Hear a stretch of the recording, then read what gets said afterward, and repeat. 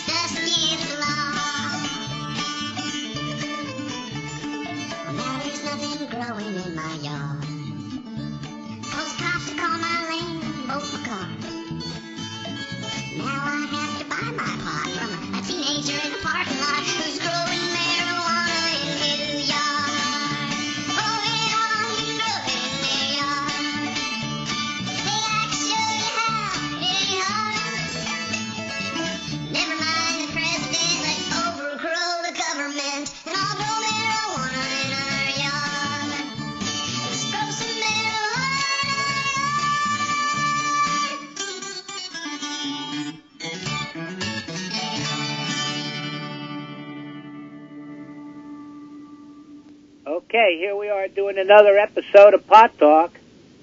Are you hearing me, Randy? Yeah. Yes. Okay, here, like I said, here we are doing another episode of Pot Talk, and uh, we're waiting at about uh, at ten fifteen. Rod Class should call in, and we'll find out the latest on his cases, which is very interesting. Rod's one of my favorite legal beagles. He's an amazing guy, and for, I don't know how many of you people out there have heard some of the shows we've done with him, but uh, he really goes after the system in a big way and uh, his you might really want to tune in because I'm sure the latest is going to be amazing, and uh, it's time for everybody out there in Woodstock to realize what's going on with the community TV station. Uh, we have a little dictator there who's now banned Paula from doing shows there because he wants to control the show. And at the end of this show, Paula wants to read uh, after 12 o'clock, if we can have some extra time, Paula wants to read a letter and some stuff having to do with what's going on at the TV station. Uh, maybe next week we'll do a whole show on it. But, um, Well, you guys can have all the time you need. yeah. Um, okay, one, wonderful. I can read it now. No, we'll wait till af- after 12. Or, and, and next week I want to really do a, a real big show on the bull that's going on at the at the uh, TV station and how they're driving uh, off the, the regulars and now they're bringing in their own little crew of uh, clones to try to take over the studio. I don't know that Steve knew about that when he was talking to me, but they're they're bringing in a bunch of new people but not necessarily people like us that really want to do shows, but people just to take up the space so that they have so that the town can keep us from getting our message out. Can I just give a very brief synopsis on what happened with that? Uh, that a lot of the radio audience doesn't know. Uh, you guys, namely Steve and you and Joe and Paula, were given time on Wednesday nights, told that uh, you could do the show Wednesday nights because there wasn't anybody doing it. Meanwhile, there was a uh, there was a plan in saying that uh, eventually you were going to have to give up your mo- your Monday shows, and that was specifically a premeditated attempt to do away with the simulcasting because Rich Spool and I believe he's only acting for Jeremy Wilber and for Bill McKenna wanted to do away with all of the simulcasting on this station except for my show on Friday nights because I'm being physically excluded from the studio due to disability. This is how deep and nasty all this goes. And on top of that, they gave us Steve and me and Paula Wednesday shows, but now they're bringing in new people that are that to, to try to take our slots, and they're purposely bringing in clones to do shows, and they're trying to give them Wednesday. They got all these other days with nothing going out, but they're going to put them in on Wednesday to try to drive Steve and me and Paula off, off the air. That's right. It's and it's all premeditated, and uh, I believe it comes all the way down from Jeremy, and uh, who knows why? I would suspect uh, there might be some influence uh, peddling and buying going on here. Oh, do tell. Oh, do and tell. and not just that, the fact that we expose all the flagrant abuses of the town board. It's their way of shutting us out, and they're using Rich Spool as their uh, foil. Uh, yeah. Uh, you know, and it's a, purely a case of absolute power corrupting absolutely. Yeah, well, they're not going to be ready if they, if they keep pushing. Then it's time for us to push back, and I'm going to push back in court. You know, and they're not going to be ready for it when I put it together. I'll be there with you, and I've certainly got a legal case. Yep, me too. Paula too. The fact that you know Paula went in on. I want the viewers to know Paula went in on her scheduled time. She had signed up for no, I didn't sign up. It was Louis Lou's time, but after six. no, but you all right. Ellen gave uh, gave Paula the time, the slot to go in, so that was her time slot. The police gave me the key. Why don't you take over? Well, in other words, what she's saying is that the procedure for producers is to get the key from dispatch, which is the police, and uh, the police gave her the key, and she was there uh, for all intents and purposes legally. And then Rich Spool uh, called the police on her. No, no. At, first, he didn't want her uh, he, at, at six thirty, which she was supposed to be from uh, six o'clock to seven o'clock. Um, at six thirty, he started trying to tell her to get out. He didn't want her there, you know. And then at six thirty, which she still was on her time, he went and called the police. Then, after he calls the police, and the police come and give try to give her a hard time, and she stands her ground. And she puts them on the phone to me, who told them that you know if they arrest her, I'm going to sue them all. You know, and then they went they went went away and left. And then uh, the next day, we went down to the police station and tried to sign a complaint against Rich for harassment, where the the, the town uh, the, the police who work for Jeremy Wilber and no and the town board refused to take our complaint, right? And but they called Rich and told Rich that he should apologize. Rich sent the most bogus apology. It, it, it says I apologize, and then the next right after that he starts attacking Paula. It's not like an apo- I apologize. I shouldn't have been this way. He said I apologize, but you're just a, a pain in the ass and blah blah blah blah blah, and you're this and you're that and you're this and you're that. You know. Um, basically, you know, no apology at all. and then and then we find out that now he he has uh, what's the word he used, Paula? Suspended Paula from the from the studio. So let's get this clear for uh, the audience who uh, may not be quite comprehending what they're hearing. That as of now, Paula is officially suspended from the TV station. So I assume that means uh, that she could uh, no longer go there uh, to do a show directly. That she's in the same boat, in effect, as I am for different reasons, uh, and that we are both exiled from the TV station. And that also makes it so Paula is my technical person. I can't do shows without Paula doing the technical stuff. So it's also a way to keep me from being there. I guess we're all in the same boat. Yeah, well, Not to we use have the name not of yet another begun show. to fight. Yeah, really. No, but I mean, this is amazing. This is absolutely the antithesis of what public access is supposed to be.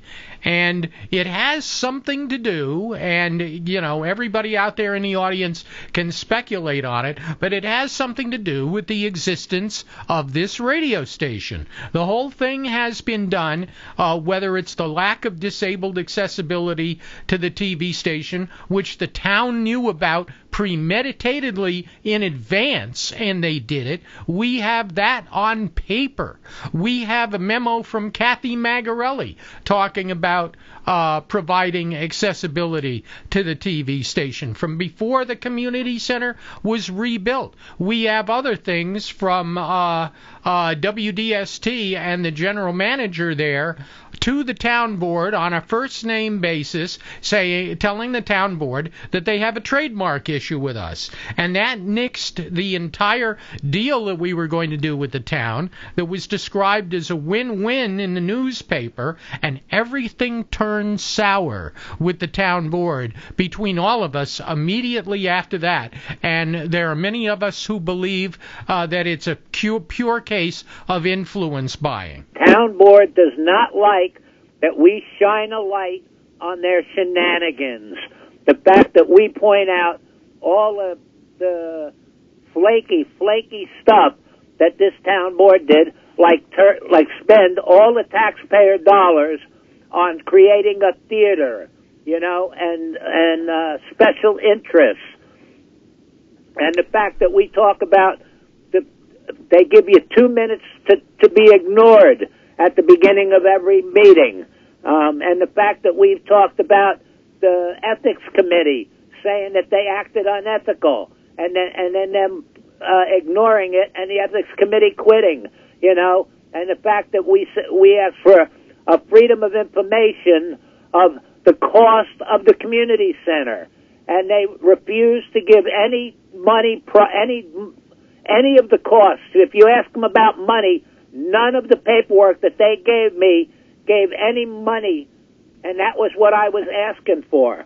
You know, so this is a direct attack on free speech by a polit- by politicians who don't want to be exposed, don't want the public to know the shenanigans that they're pulling.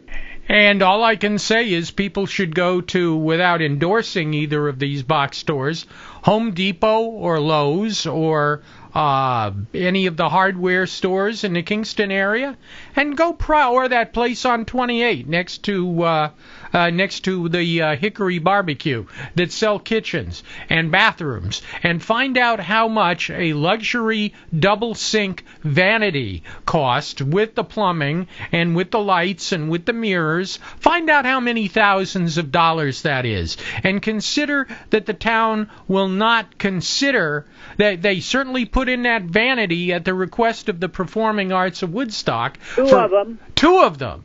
And yet they will not spend what has to be maybe a quarter of that money at most to put in a ramp for the disabled to the TV station.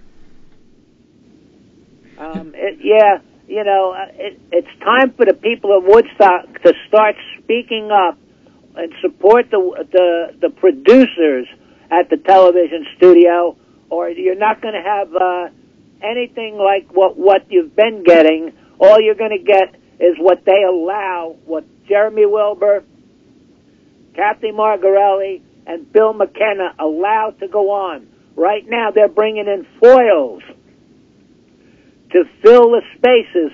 They're going to try to drive us off off prime time and fill those prime time spaces with bogus stuff. You know, if it was a union shop, the word would be scabs. Right. But and there and there, you know, um, But there's one difference, Randy. The scabs would never jeopardize a public utility. I was actually behaving in a way to keep the signal on. Once I read my letter, that will be very apparent. It's, I hope it will appear in the Woodstock Times this Thursday. I hope it's not too controversial, but it it really lays it out there in just a little over 300 words. Yeah, well, I'm I'm sure that because the other thing that would be different uh, from calling them scabs is that Rich Spool put a uh, letter in the newspaper or an advertisement looking for people, so these people don't know the situation they're getting into. anyway, we definitely need the the community to get behind the producers. You know, it, it should be the producers that have the most say so there, because it's the producers who make who make th- who make it happen. We, the producers, are the ones that make all the shows. Rich Spool is a mechanic. His job is to fix the equipment, not harass the producers. And I also want to point out, Steve was there. Call in 20 minutes. He, he had to bail someone out of jail or something like. Oh, all right. Rod's going to call a little later because he's got to bail somebody out of jail. But um, uh, Steve Remine was there when a kid came to try to learn how to uh, use the equipment. The kid was five minutes late, and um, what's his name? The the, the mechanic, um, Rich Spool, told the kid, "Go away. You're five minutes late." But when Paula was there, the psychiatrist guy, you know, the guy who was selling pills to, and got lost his license, right? Um, he came ten minutes late, and Rich allowed him to come in and, and he taught him without saying anything about it. But when the young kid came in, now I believe that they're bringing this psychiatrist guy in just as one of the shills, you know. So he came ten minutes late, and they allowed him, Rich Spool, allowed him to learn how to use the equipment. But when a young kid, I don't know who the kid was, came and said, "I want to be a producer and I want to learn," he was five minutes late, and Rich Spool sent him away without teaching him, without teaching him. Rich Spool is like a dictator there. That's what Steve said, and I got to agree to it. Well, you know, one of the things that uh, that seems to be in play here, uh, and I made the um, analogy to Richard Nixon. Um, if we, those of us who are old enough to remember uh, the Watergate era and Richard Nixon, uh, that whole thing occurred because Richard Nixon was paranoid. He was paranoid because he thought that people were out to get him and that somebody was going to take his place. And unfortunately, what I see as a uh, as a long distance observer is that uh, Rich Spool seems to be acting that way. Eventually, he's going to show himself for not being qualified to be a manager. He may be uh, a very proficient uh, tech. Uh, technician. He may be able to wire wires and put together a studio. But as a manager, he's clearly showing uh, that he's got too many personal vendettas in his closet to be able to adequately deal with people in a non confrontational way. He's even done that with me. For some reason, he thinks that I want to take over the TV station, I being Randy Steele. That couldn't be further from the truth. If I wanted to take over something, the fact that I need a ramp uh, that's a wheelchair ramp that's in a closet, the way the town built it, would not keep me out of the TV station. Instead, I will not risk what is left of my lower limbs on those dangerous steps to uh, uh, even go to the TV station if there isn't equal access for me. So there's a perfect example. Plus, I've got to run a radio station.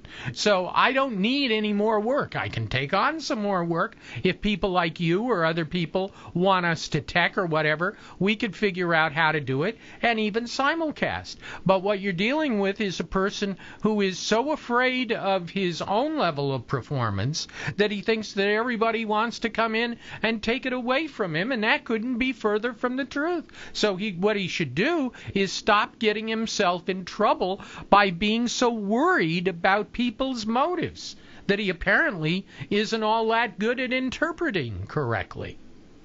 And not no, not just that.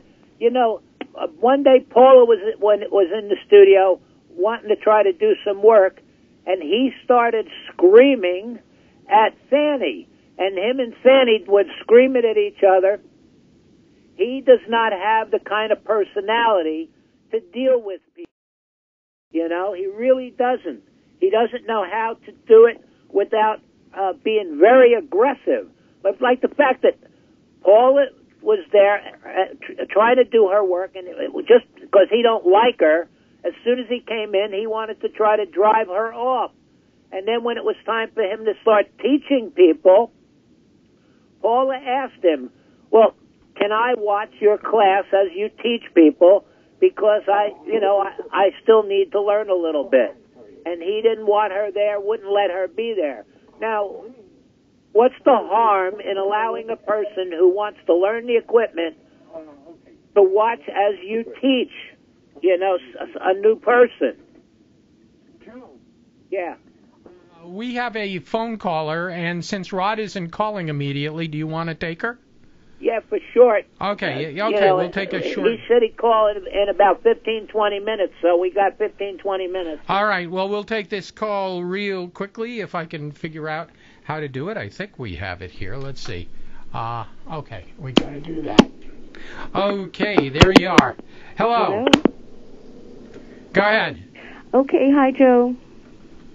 You dropped Joe. Oh, did I drop Joe? Oh, no, I dropped Joe. See? Hello? Oh, there, there we are. I got you all back. Okay, you're back. Okay, hi Joe. Hi. I just wanted to say, you know, that what right um, does uh, Rich Spool or anybody? Um, he's a volunteer, and so what right does anybody uh, have to Well- say, you know, dictate? Well, um, Bill who McKenna set this up. and who doesn't, Bill McKenna and the town board don't like us being there, so they they've said, "Oh, Rich is in charge," and they know the kind of character that he is.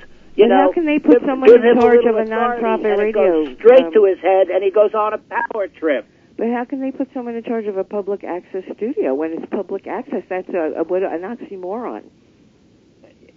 Yeah, well, this town does. This town board does whatever they want, and they don't play. They, even at their town board meeting, we asked them, "Do you have rules?" They said, "No, we don't have rules." So if there's no rules, they can do whatever they want, and they don't care. It's like we got the power, and fuck you. Excuse my language. I know I'm with you all the way. I just, you know, I just have a different way of deal, you know, strat, you know. I just, you know, I feel that, you know, um it, it's just none of this gets any, you know, gets you what you want. So, you know, I I don't know. You know, I just have a difference in strategy and tactics. I mean, I'm I'm with you 100%. Well, what would you do? Philosophically, you say you got different strategy. When when people are definitely attacking you, Well, it look, you know, goes what would both you ways, do? Joe. Just go, goes oh, please ways. don't. They don't listen to that. Um, can I just say one quick thing about the ramp, Yeah, go ahead. um, uh, Randy? Yes. Um, I think that it, I- it, uh, that uh, Jeremy pretty much said publicly um, that uh, he would let someone, um, if someone wanted to donate a ramp, that he would allow. Um, and I've just heard this. Um, that he would Where, allow where, and when did you just hear this? I just heard it, and it, I think even Paula said it at one point that um, he something to that effect. That I, was, I don't uh, ever remember hearing him saying. I've heard other people say that they are willing to volunteer to work on a ramp, but Uh-huh. so far uh, we haven't heard anything that Jeremy is in any mood to allow that. As a matter well, of you know, fact, the, the his I comment. make, Mhm. His is- is comment that. was that he's not allowing a ramp because he doesn't have to. Okay, but you know, just hypothetically, if someone did want to donate a ramp and and and install it, so that would really be the way to get over on him, wouldn't it? Because then, if he didn't allow them to to install it, he would be blatantly showing, you know, his his true colors there. He would be showing the fact that somebody has bought influence by giving him money during his campaign. And I leave it up to the audience. that though, Randy? Is there a third party, a disability code person, a third party you can go to to The- oversee this? let me tell I mean, you is who the the ramp optional or Let me it, no no no. Let me tell you why there is no ramp. Because the disability code person of Ulster County is a guy by the name of Giles Malkeem, who is a personal childhood friend of Jeremy Wilber. Mm-hmm. There's you your written this in corruption. the- I haven't read the letters in the paper, but have you exposed that in the in publicly in Uh, paper? over the course of the letters that I've written, yes, because one of the first people I called about the town's uh, reticence at uh, putting in a ramp was Giles Malkeem, because he is the disability inspector for UCAL, which is the Ulster Center for Accessible Living. And you know what Giles Malkeem did when I was on the phone? I was just in the process of explaining that the TV producers have separate parking on the other side of the building, and he hung up on me. Is there someone else above him that you could, uh, like a a, a, what- a neutral uh person that could really say, you know, this is right or wrong? Or I've what- tried you know, filing a complaint legally. with I'm this. talking legally. I've all. fought, tried filing a complaint with the supervisor of RCAL who never responded to my complaint. Kirsten Jewell. And Kirsten Gillibrand, when me, I'm just about to, you know, try and, uh, you know, look into that myself. because it just Kirsten really Gillibrand, bugs me I filed a complaint. Will you listen for a second? I'm Kirsten Gillibrand, Senator Kirsten Gillibrand, Mm-hmm. took my complaint about all of this that I had addressed to Obama's uh, Justice Department.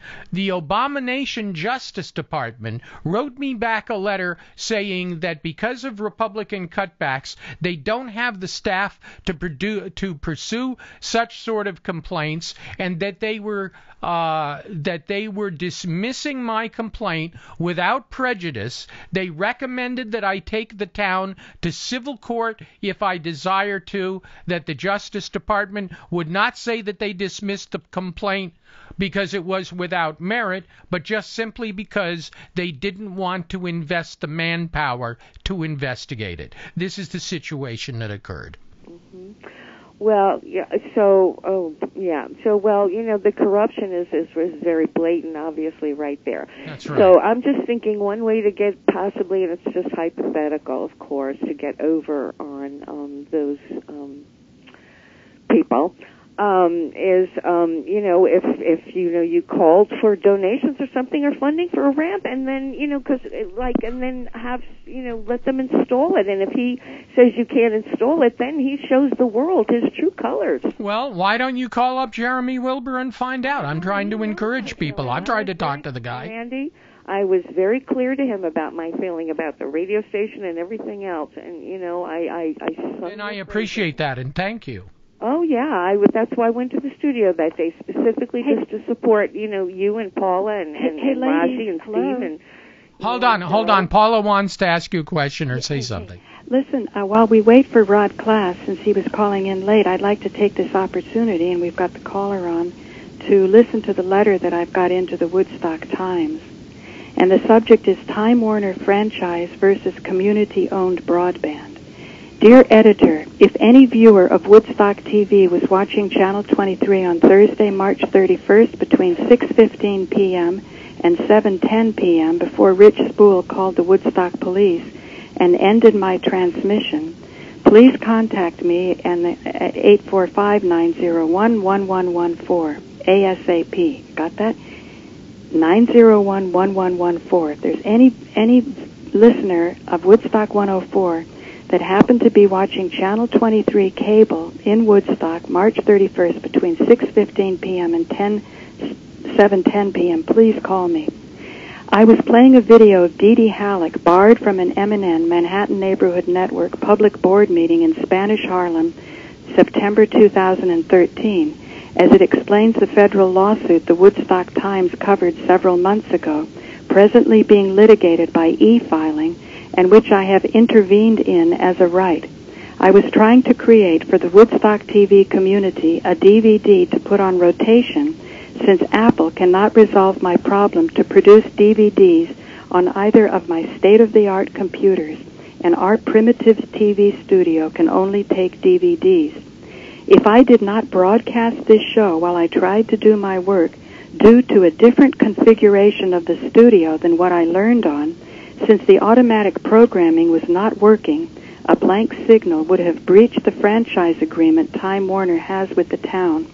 I cannot imagine that the town would take this kind of risk to ignore, uh, to lose their valuable franchise, which justifies Time Warner taking several hundred thousand dollars per month in subscription fees. If no one saw this broadcast or saw something else, then there must be a hidden override so that what actually went out was not seen within the TV studio itself on the monitor that normally shows what is going out to the Time Warner subscribers. I believe there is an opportunity here for the real people of Woodstock to demand a better community TV and broadband, and I appeal to all people of goodwill to contact me or Joe at 901-1114 if you care about the future of free speech in Woodstock and the World Wide Web. Ensure our successful futures as either a producer or viewer of Woodstock TV by standing up for it. Whether we are rich or poor, our collective success on many issues depends on free speech, the water of life. Everything dies without water. So I just wanted to get that in, and after uh, Rod finishes, uh, you know, it'll be after midnight. For anybody who's listening to this simulcast on uh, on the television station, I hope you can get a radio signal because I can go much more deeply into this, and I'm sure that that that Randy has a lot to say, being a professional and understanding what it means to keep a signal on when you have made a commitment to keep a signal on. It's it's not just about channel 23 going down and being breached. It's about all of the commercial ventures depend on an agreement that free speech would be upheld. Paula, what An time was Rod supposed to call? Will be repressed. What's that? An agreement that free speech will be repressed. Paula, what After time was. Rod supposed to call? He said to Okay. give him 20 minutes. Uh, All right. Oh, that's a great letter, Paula. And yeah, well, I'm hoping that the Woodstock Times will publish it because, uh, you know, Rich definitely cast me in a false light. And when we went into the police station, We we went in to try to file a complaint. At first, I wanted to to make a claim in the court for which relief could be granted. So we stated we either want ten thousand dollars from Rich Spool, but we know he's as poor as we all are, or uh, an apology in the Woodstock Times. So then I got a very flimsy apology from Rich, well, which I answered, a and I'll talk about you know after that, 12 and, midnight. and and Joe He just called- hold on, you're doubling, please. Let Paula calling- finish. When people are talking, please don't interrupt. Sorry. I try not to do it to other people. I'm When sorry, I'm but on that a roll, happened, please don't interrupt. And Sometimes it's hard to hear when two people are talking at the same time, too. It is Right, why don't we clear the line only because Rod has to call in? okay. Okay, bye, caller. We love you, but please, thank you. Okay, get- thank I you. Okay, clear for Rod. and okay, we're going to uh, keep the line open for Rod right now. Okay, And you. Paula, can you can continue? Okay. I just, I just, you know, when I get on a roll, I understand what Joe means about that. You're trying to get a certain thought out, and I, I, I'm also very appreciative that I inspire other people to have their thoughts. But we need to have a, a time and place for all the thoughts. Oh, it looks like we got Rod. Okay, Paula, we have uh, Rod on the uh, phone, so let me uh, put him on, and uh, you can all go ahead. Okay, Rod, yeah, I you there? apologize. I had one uh, one of the guys I was in court with today got thrown into court, got well, got thrown into jail, and I had to go bail him out. So we're just now getting home.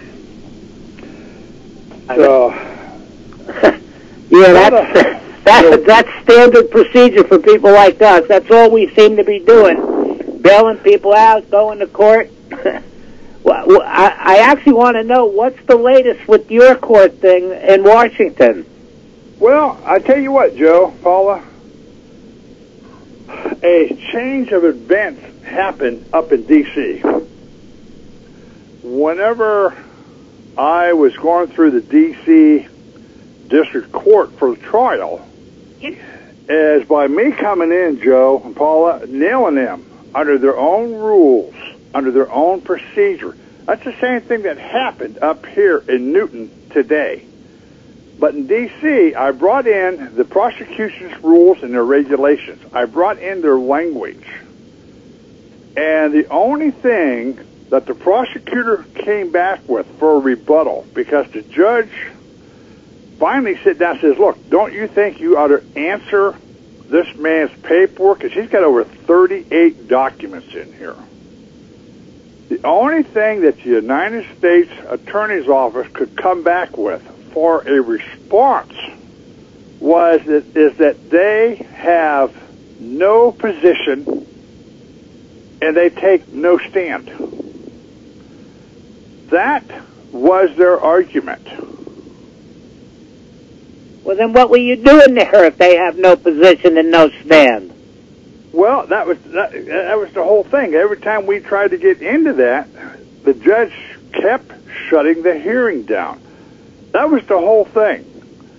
As I got to explain, and I got into the, the 1925 Statutes at Large, Volume 43, and it shows that it stopped on March 4th, 1925. Now, the dates are very, very, very important because in Volume 44, it picked up on December 16th, 1925. So if you do the math from March 4th to December 16th, we got close to eight, nine months missing. Well, supposedly, on December 7th, 1925, the United States codes were passed under HB 1, uh, under HB 10,000, supposedly. But when you go back and you look at the statutes at large for that December 7th, it does not appear. It does not show up. So we brought into the fact that the United States codes were never passed. And when I brought this up before the judge and I handed her the congressional records on this, this wasn't hearsay. I actually got it from the Library of Congress. I put it in as evidence, and she looked at the prosecutor and asked, "Could you rebut this man?"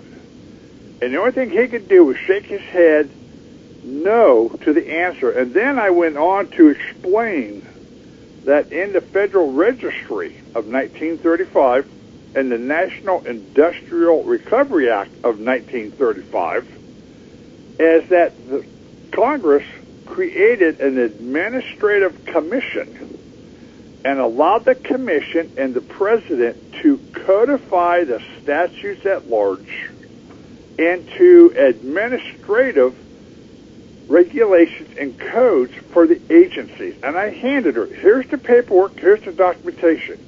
Your United States codes that you're charging me with does not apply. Here's is the history that it was never passed. There's too many mistakes in it. The Senate never agreed to it. The Senate and Congress agreed to turn these into administrative guidelines for the administration. And she again looked at the prosecutor. She said, Can you rebut him? And he dropped his head and she shut the hearing down again. They never I could never get a pass. All they could do is sit here and shake their head no. They could not rebut. That's why they could not take a position in this thing. They could not rebut my paperwork.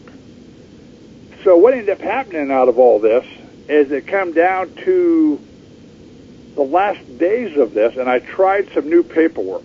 that was given to me, and the paperwork was sound. It was it was sound paperwork. I went back in and I told the judge, because of what is going on here, I want an in-camera hearing, or I want you to do a teleconference with me, because so far there's been no jurisdiction. You have nothing, and there's no sense in wasting court time. We could do this privately. Well, he got me for failure to appear. But the problem of it is, I was supposed to show up in court on October 27th in uh, 2014. They came in and dropped and dismissed all my charges on October 23rd, 2014. Four days before I was supposed to appear, they dropped and dismissed all my charges and they did a brand new grand jury indictment under a new charge. And they got me for failure to appear in contempt for the charges being dropped. And yeah, they don't play fair. No, they don't, but that's fine. What we got into is that on my finally we got to the the uh, arraignment side of this, not arraignment, but the uh, allocution side of this thing. But I will. I, I got in on to allocution, and I, the judge asked me if I agreed with the plea bargain that was done on the on the 16th. I said, "Well, no, I don't agree to it." I said because your prosecutor lied to me, your public defender lied to me, your underling just ruled that the very thing that I'm charged with was declared unconstitutional Supreme Court has ruled it unconstitutional. Uh, Massie out of Tennessee came in and defunded the District of Columbia for the very problem that we're having right here. DC's been defunded because of this. I said, so no, I don't agree to the plea agreement. I said it was fake and false on the start, beginning with. So he asked me, he says, okay, now for the allocution. He said, Do you have anything to say for the allocution? I said, Yes, I do. I said, Your prosecutor made a comment on the record that he now hopes that Mr. Class would learn to follow the laws the way they are written. And I, I asked him, I said, Would you like to tell me what laws that I violated? I said, I had a carry concealed permit from North Carolina that's supposed to be under full faith and credit under the Constitution. No matter where I go, it's full faith and credit. I said, I had my stuff registered with the FBI. So I met two of the qualifications. My stuff was registered and I had a carry concealed permit. Now let's go back and talk about the fact that your property wasn't posted. Under Title 18, Section 930, you were required to post signs on your property to make people aware that if they came on this property beyond this point, you're not allowed to have a firearm. Your laws are clear on this. I said, oh, that's right. I forgot. Because you and I just talked here a few days ago, and you admitted in court on record that the courts don't follow the law. You guys follow theories and concepts. Don't you remember putting that on the record for me? and he dropped his head. He says, I'm going to allow you to appeal everything. I'm going to allow you to appeal the plea agreement. I'm going to allow you to appeal my decision. So, and I, he said, Mr. Class, you're going to pay a $350 fine. I said, would you like to tell me how I'm going to pay with this as we're not dealing with any money? he says, I will let you take this up with your probation officer but I will tell you this, I will allow you to file for in forma pauperis into the appeals court as there is no money. So he allowed me to file in forma pauperis. Matter of fact, he cut an order for it. For them Wonderful. to take me in forma pauperis. Because we went back and pushed the issue. Well, I got into the appeals court. I got paperwork filed in. When I left the court that day, I filed notice of appeal. I got it in. Within 30 days, I had a brief. I had a 30 some page brief I put in. Prosecution never answered it. They went 30 days and they never answered it. I went back in and filed in a, a notice of non-compliance. First notice. I waited 15 days because they had 15 days to ask for an extension. They didn't ask for an extension. So after 15 days, I put in a second notice of non-compliance where I have defaulted them. And I went back and I reminded them under the Miller versus United States of 1939, Miller won his appeal court decision. He had a right to carry, but the United States took it up to the United States Supreme Court. And see, that is what people are not aware of. He took it up to the United States Supreme Court, United, and Miller never showed up. So the United States won that gun case on a default, not because of argument, but because Miller never showed up. So I went back and I used that in my appeal court. Whereas the United States ruled in favor of the prosecution in the Miller case because Miller failed to show up, I now demand the same equal consideration as the prosecution has missed their deadline and they have no intentions of answering my paperwork. I want a ruling on a default. Well, appeals court said on it. So I went back and I filed a certiorari and a mandamus into the chief judge of the appeals court, filing a complaint of due process and negligence on his judges. It wasn't a few weeks later I get a letter in the mail and the appeal court judges hired an outside law firm for amicus curiae on my behalf, not to represent me, but to go through my paperwork and see if they could find any flaws to keep the judges out of hot water. The amicus curiae attorneys, there was three of them that came out of Virginia area. This was a Fortune 500 law firm that came out that's based out of Chicago, and they got law firms in every single state. This law firm that they hired, they hired three attorneys. One attorney was famous for doing impeachment on federal judges because he impeached a federal judge. One of them was one that sat on the board of the Judiciary Committee for uh, Discipline and Professional Accountability. And the third one that they handed me wrote up law reviews based on corruption of the municipalities. These were the three attorneys that they handed me.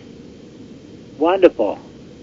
They went through my paperwork and they put in a 240 page brief. 80 pages of it was brief and 170 something of it was uh, joint appendix. They went back and showed where I made all of the proper arguments based on the carry concealed permit, based on Article 4, Section 1 and 2, full faith and credit, based on the fact of the laws of, of equal protection under the law, the 14th Amendment, equal protection under the law. They went back in showed I brought up the case laws on this. But they also went back in and they brought up where the prosecution screwed up every step of the way. And the judges screwed up every step of the way. They went back and pointed out Mr. Class followed the rules.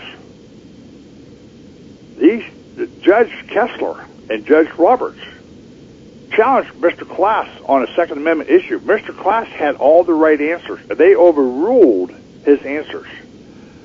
The judges had to go back and remind the prosecution to answer my paperwork because they was not answering my paperwork, and I kept defaulting them. Failure to comply within 14 days. Failure to comply within 21 days. Failure to comply within 30 days. So I was racking them up between 14, 21, and 30. These were the schedules that they had, and I waited till uh, like about 35 days, and I went back and started numbering 14, 21, and, and 30. I went back and showed where they wasn't doing their job right.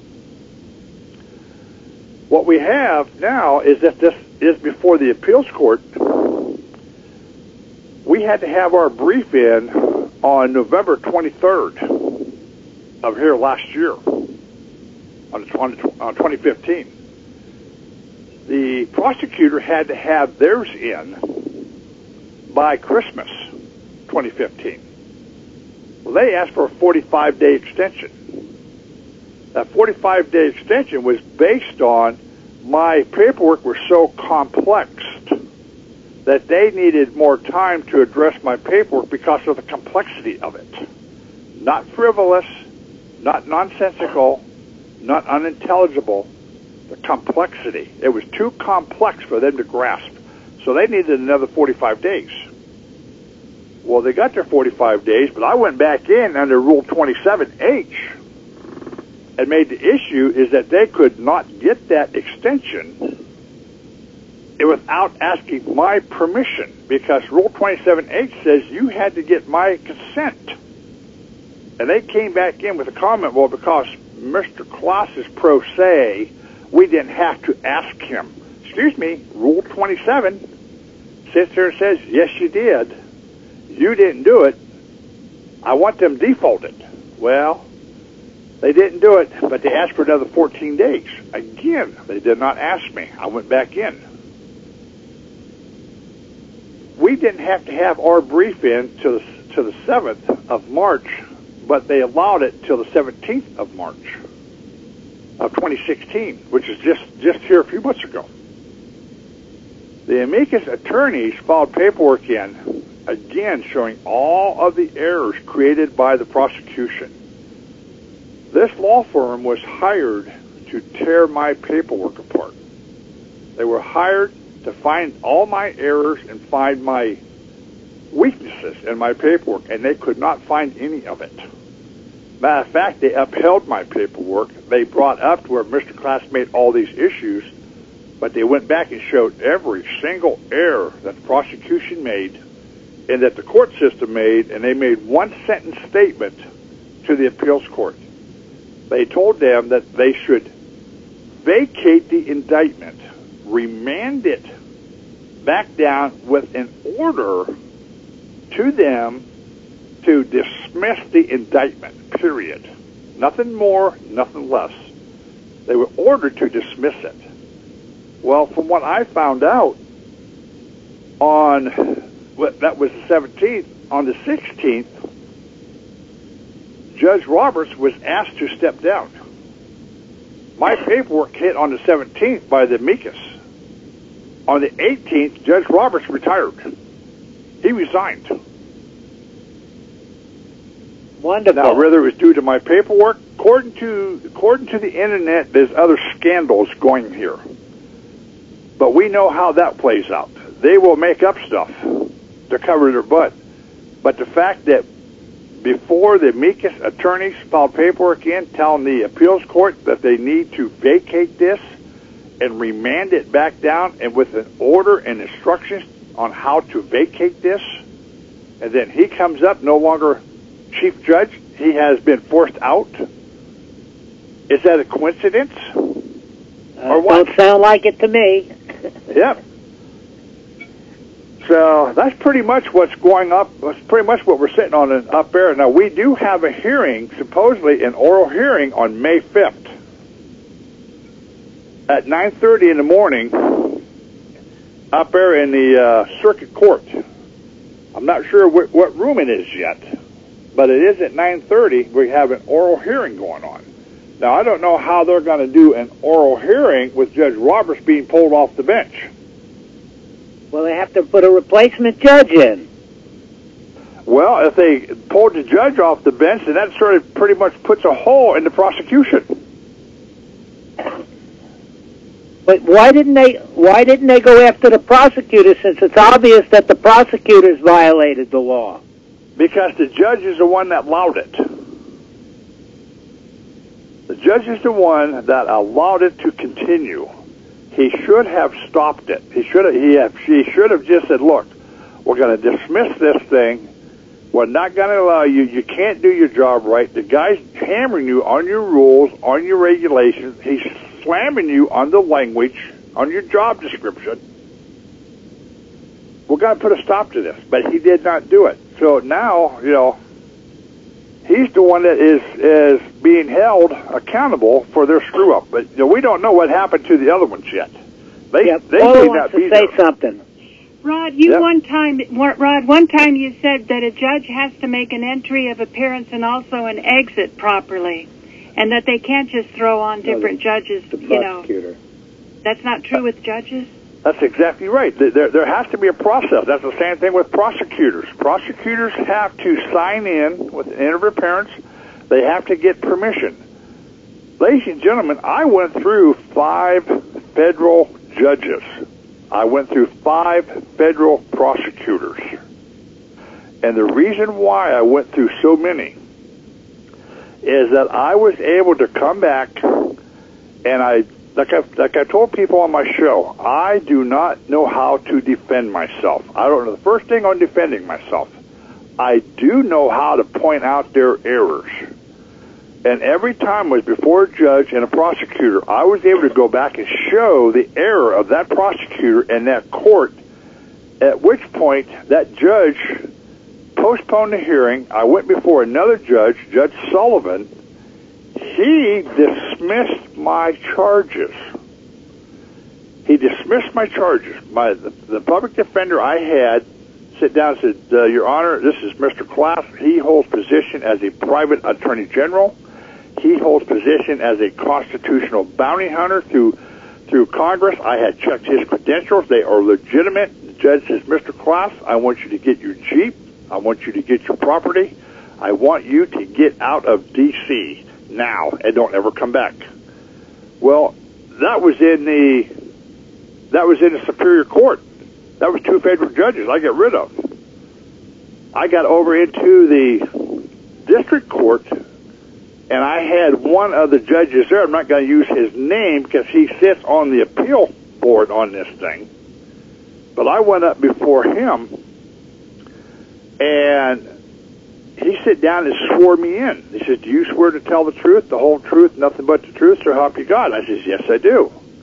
He said, Well, Mr. Klaus, you just swore an oath, so if you lie, this is perjury. And if you commit perjury, it's contempt of court, and I can put you in jail. I says, Whoa, whoa, whoa, back up. I says, Are you telling me that anybody who swears an oath, if they lie, perjury and it's contempt of court? He says, Yes, it is. I says, Does this apply to your side? He says, yes, it does. And that was the opening that I needed to point my finger at the prosecutor and show where he swore an oath to the Bar Association that he would not lie, misrepresent, mislead, misconstrue, put false information before the court under the bar rules, and the judge shut the hearing down, and I get rid of that prosecutor, and I get rid of that judge. So that was three judges I got rid of. I went before. I love you, Rod. I had her for a while. But when we got into the debate, I asked her up front in one of the hearings, right there towards the end. I asked her, who is the corpus delicti? Who is the injured party? And of course, she was making a joke out of it, and so was the prosecutor. They was making hee hees and ha ha's. Now we just don't understand. We just don't understand. Well, finally, she sat down and looked at me. She said, "Well, Mr. Class, you violated the statutes." I said, "What? Are you telling me that the statute is the injured party?" She says, "Yes." I said, "Do you really, truly want to tell me that?" And she says, yes, you violated the statute. I says, okay, let's talk about the statutes that your prosecutor broke. Let me jump in for a second. I would have said, then I want to put the statute on the stand because I have a right to cross-examine the witness against me. Well, you can, you could do that, but I didn't go that route. Uh, okay. Because what I did is I asked, I told the judge, I says, now, if the statute is the injured party, let me show you what statute your prosecutor broke. I proceeded to explain under writ of habeas corpus under Title 28, Section 2255, that if I could show this court a constitutional violation or a statutory violation, that this court would have to dismiss my charges and bring charges against the prosecutor. I proceeded to explain the constitutional side of this thing under Article 4, Section 1 and 2, full faith and credit, 14th Amendment, full faith and credit. I got into Title 42, Title 42, 1981, equal protection under the law. I got into the fact that I had a carry concealed permit. I got into the case law. I said, now, let's get into Title 36 of the United States Code of Ceremonies under Chapter 705 under the Federal Bar Association. This man is a federal bar agent. Under 70503, it sits here and says how he can be disqualified from holding his job. If he advocates the overthrow of the Constitution and advocates the overthrow of our government, which he has because he's not abiding by the Constitution and he's not abiding by the statutes, he has now advocated, he has now committed treason. He has violated the Smith Act of 1940 of being a communist and pushing anti-government into this courtroom. He violated Title 18, Chapter 115, 2385 of sedition, insurrection, rebellion, and treason. These are the statutes that your prosecutor broke. Why is this man not being put in handcuffs? She shut the hearing down and ran out of the courtroom, and that's when I got rid of her and got rid of that prosecutor. This is Now, what I want my audience and to know why. This is why Rod Class is one of my favorite legal beagles.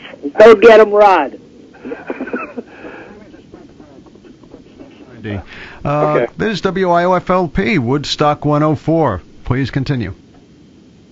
Go ahead, Rod. All right. We back on again? Yeah. All right. But, ladies and gentlemen, this is what I have taught. And for them to hire a Fortune 500 law firm to be amicus curiae, now, I didn't hire them. These people did not volunteer because this was a gun issue. They were hired by the court.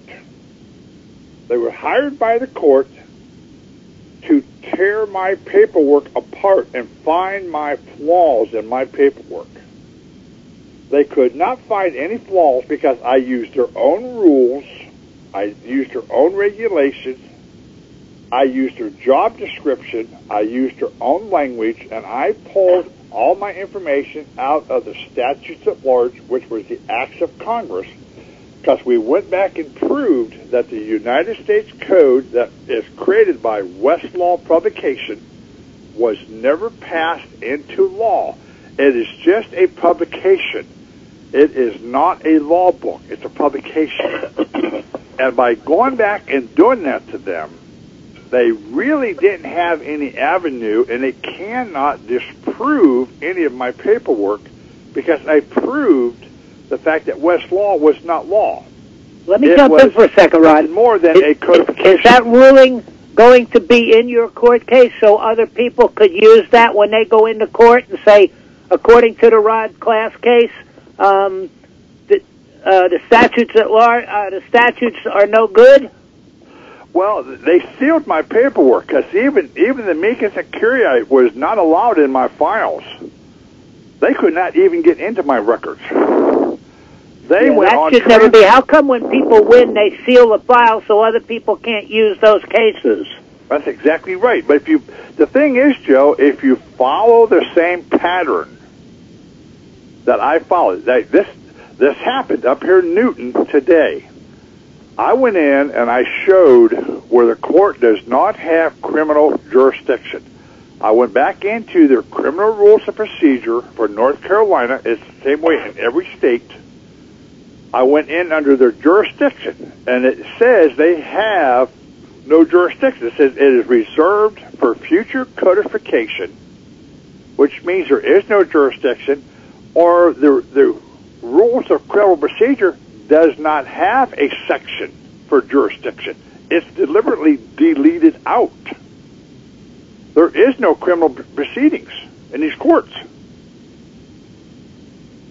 We got in here, the judge, I filed in for a, a limited power of attorney on behalf of my client. The judge and then went through my paperwork, they crapped. They would not allow me to represent him. They threw me out. So they scrapped all my paperwork. Well, this guy tried to come back in, and they found him in, found him guilty. I got him bailed out, but now we're going to go file charges against the judge and against the prosecutor.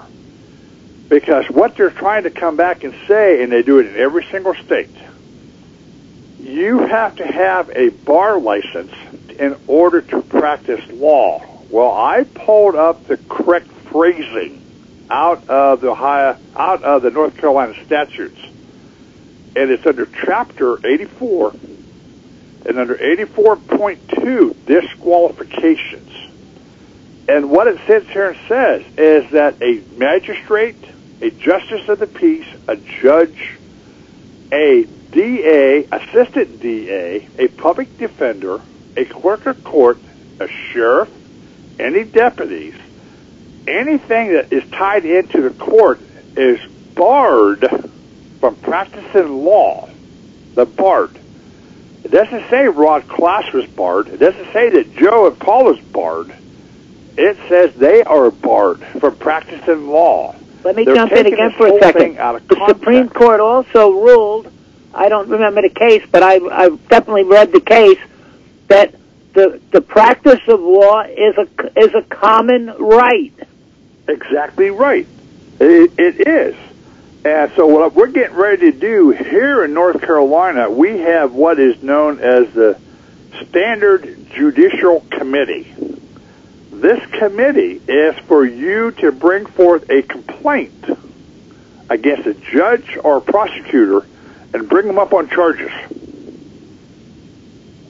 Now, what's going to happen here is like everything else they're going to come back in and they're going to say that they're not going to get involved, which is exactly what I want them to sit back and say. Because when they do that, they have waived the immunity of these public officials. They now can be brought before the administrative court, have a charge placed against them on the administrative court, get the administrative court to rule that they're not public officials, take them to the judicial review to get them to admit it. And then the next step is the court of claims. Because once you get three entities that go back in and say they don't work here, they're not part of the system.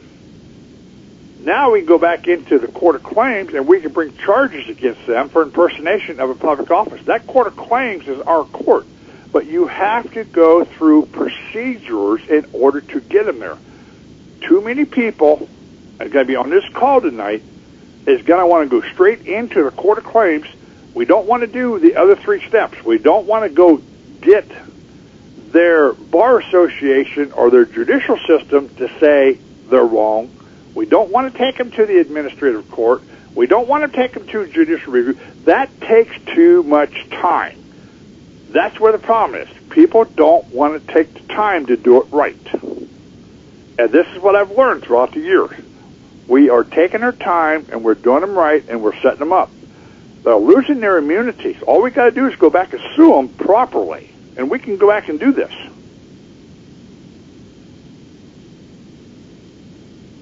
But it takes, you know, it's something that I have been working on for quite a few years on getting the bugs worked out of this. What does it take to get this thing done? What's it take to go through and get all the bugs so I could sit here and just run them? And it's taken me time. I had to go through trial and error, but nobody else was out here doing this. I was. Now we've got it pretty much figured out that how we have to go back and do it. And this is where that standard form 95 comes in that Dwight may have talked about, that SF 95 form. This is the federal tort claim. That is your complaint. not something that you just write down on a sheet of paper. This SF95 is your your complaint, and then what you add to it. That's the proper form for the complaint. Yeah, I filed mine in your case, but unfortunately, all the green papers, the you know, the proof that I sent it was in Paula's apartment when we got evicted, and it got lost. So I don't have proof that I sent it. Oh man. Well, I tell you what, there's there is no limitation, Joe, on starting over again. Yeah, I intend to. Uh, Dwight's going to send me the the paperwork again, and I'm going to I'm going to fill it out and send it back in. Yeah, because see, this, this is the this is the the beauty of this. There is no statute of limitation of going back in of exposing the fraud, exposing the crime being committed, because this judge looked at me when he threw me out of the courtroom. My paperwork, he looked at my paperwork and he looked at me, and this man, he was on a phone call before my client got called up. We sat there all day. He's waiting for a phone call, and I can almost bet you it came from Raleigh on what to do with my paperwork. And they sit down and told him how to handle this, and that was a mistake. He But you know what, Rod? the. The, fact that you put in the paperwork and the judge was informed of the law, yet Yeah. he he wouldn't let you do it, and then he found that the, this guy guilty anyway, shows that he went. He knew what the proper law was. You informed him, and he chose to override it. So now we'll go back and bring charges against him for dereliction of duty. Wonderful. You know, Joe, like I said, if we could get the people to get off of all these other avenues and go back in and understand that we have to understand their rules, their language, their job in the congressional statutes. Because that congressional statute is the real law. Because once we made that determination that the statutes at large was the real law in that courtroom and not the USC codes, this made a difference on hammering them. Because I got I got the federal judge, I got the prosecutor, and I got the public defender, and I got the, I got the judge on record. He admitted on record that they do not use law in the courtroom. They use theory and they use concept in a courtroom. They don't use law. It's all theories and concepts. And that's how we're being charged. Yeah, it's bogus. That's exactly right.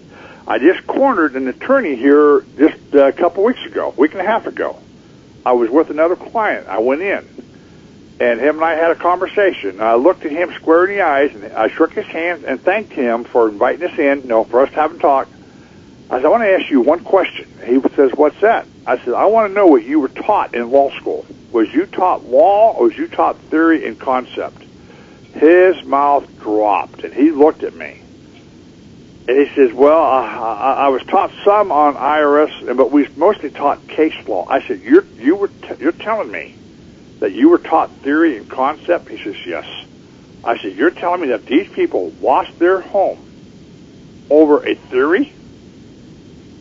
They lost their home over a theory. People are going to jail on a theory? Is that what you're telling me?"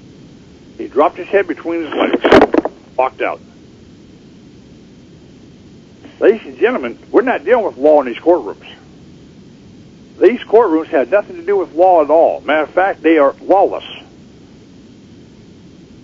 And this is why we, the people, need to start bringing in their own procedures, which is what the United States Code is. That USC Code is their procedure. That's their guideline. That is like you going to McDonald's or going to Ford Motor Company and they hand you a policy book. When you're working for that company, these are your policies. These are your rules. These are your guidelines. Ladies and gentlemen, the United States codes are their guidelines. They're not yours. They're not mine. They're theirs because the statutes at large, 1935, under the Federal Registry and the National Industrial Recovery Act, point blank says that the United States Code was made into administrative codes for the agencies and for the administration. It point blank tells you that. Explain that a little better for my audience. Beg pardon? Explain that a little better for my audience. Okay, what that means is this. Because the United States codes were never passed in 1925, main reason was there were so many errors in it that Congress did it, the Senate never agreed to it. So because the Senate never agreed to it, they were never passed. So because they was never passed, they had to do law. something with them. So in 1935, when they did the Federal Registry, in order to put them on record, they went back and they sit down and said, because these are statutes, United States codes, we are going to turn them into administration procedures. We're going to make them into administrative guidelines to hold the agencies accountable for their conduct. The National Industrial Recovery Act was the same thing. Now you've got to remember, in the 1930s, we was going through a heavy, heavy depression. There was no jobs.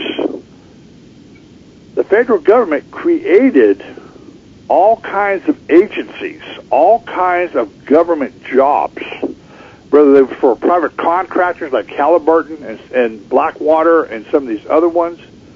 But they was creating all kinds of agencies. Well, they had to have rules and regulations and guidelines. So what they did is they took the codified statutes at large, and because they were not good enough for the people, they turned around and they used them for administrative purposes, for administrative regulations. So these turned out to be how the administration and how the agencies are to operate. These are their do's and don'ts. You follow me? Yeah, and and they're not for us, just to let the audience know. Yeah, it's, it's, that's why it said that it was created for administration and agencies. That's what it says in, in the Federal Registry. It was created for agencies and administration. So it can't get much plainer than that, and you can't get it much simpler than that. And let There's me no just add to, to make it simple it for the audience. that. And that means that it, it they don't apply to us. So when they bring us into court and try to use these, if you use Rod's argument, you can say it doesn't apply to me. Therefore, you lack jurisdiction. Am I correct? Well, you got to go into more than that. See, that that's a shortcut, Joe. That's that's where the problems come Well, I'm in. trying to make it You simple for the have audience. To get in, and you have to bring the laws in. Carry, put them in your paperwork. Right. Carry them in. Get it on the record. No, Your Honor, the laws don't apply to me, and I'm not saying that. Here is the legislative enactment that verifies exactly what I'm saying. Is that they don't apply to me. Now, unless this man, the prosecutor, can rebut it, or the woman prosecutor can rebut it, then it stands that it does not apply. They have to rebut Congress. And see, this is how you have to come in an argument. You just can't come in and say, well, don't apply to me and leave it at that. You have to put it into your filings, put it on the record. You have to walk in with the congressional records in your hands, and then you have to verbally say it on the record to, to show it here. That's the work that's involved in this. There's no shortcuts. There's no shortcuts. This is like when we filed paperwork in down here to the court. We we put the paperwork. I got this kid out of a contempt charge. We filed the paperwork in. It showed under North Carolina Rules of Criminal Procedure, under Article Two, under 15A 102 through 15A 130, it says reserved for future codification. We put it in writing. We cut and pasted the, the, the section of the rules, and it was verbally said here and said there's three things that had to be done.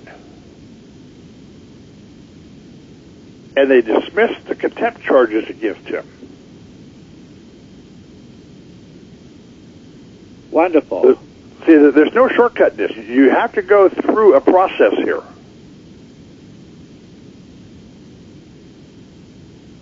Yeah, I understand that. I was just trying to um, help to explain it.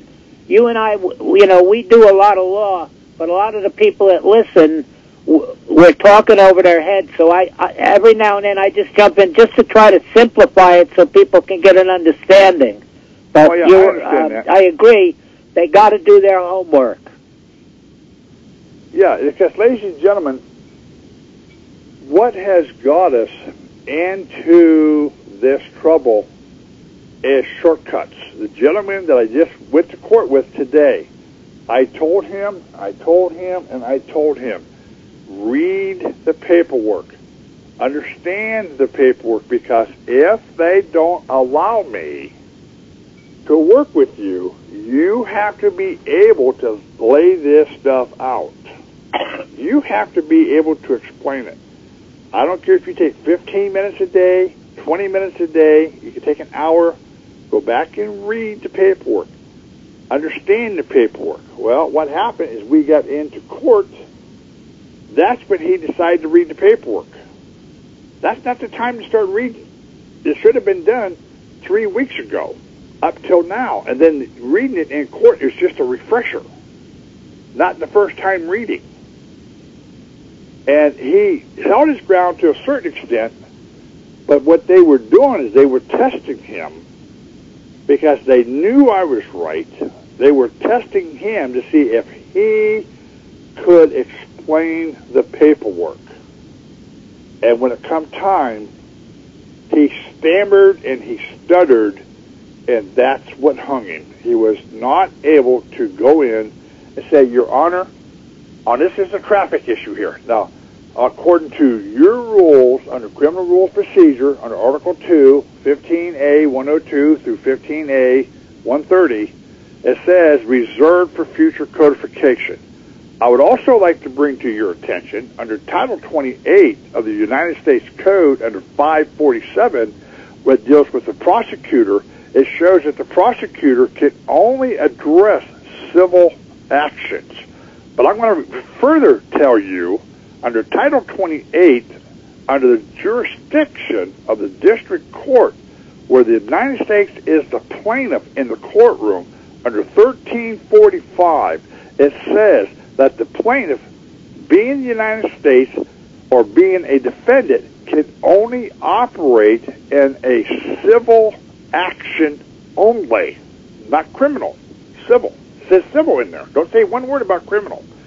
But I also want to remind you, Your Honor, under Title 49, the United States Code, under Chapter 149, which is Department of Transportation, under Secretary of State, it clearly sits here and says that I had to have an administrative hearing up front first before the judicial.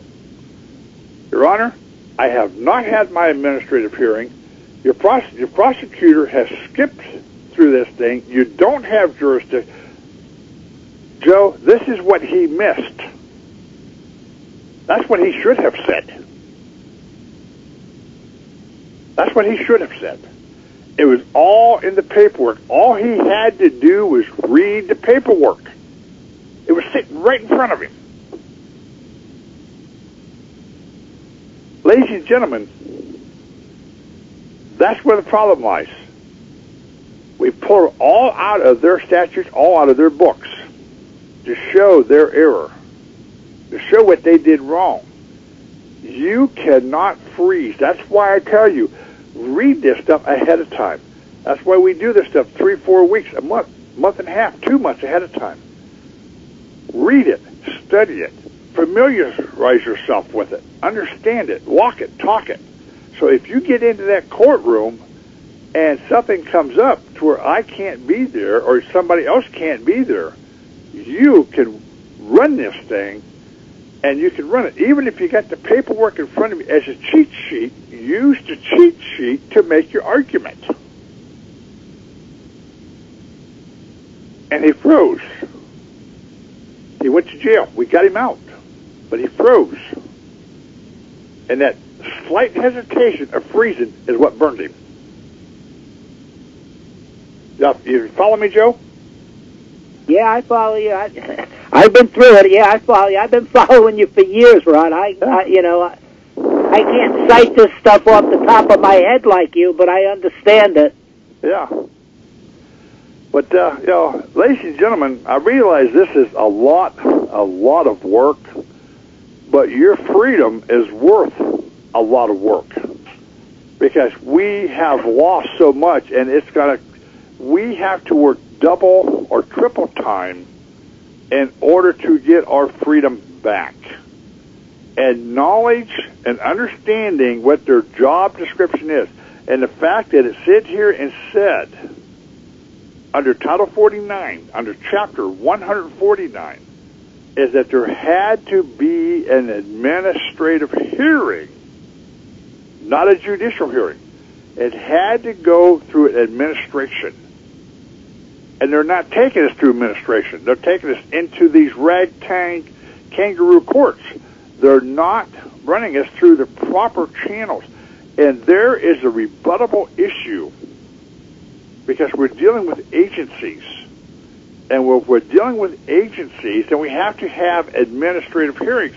And they're not giving it to us. They are subverting that administrative hearing into a judicial review where we were being found guilty without that administrative hearing to begin with.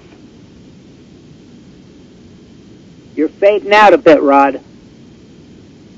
Yeah, this is what we're what's what we're walking into. This is what I ran into when I brought charges. I had to go through proper channels when I went after the police department, sheriff department, highway patrol, and other these other public agencies.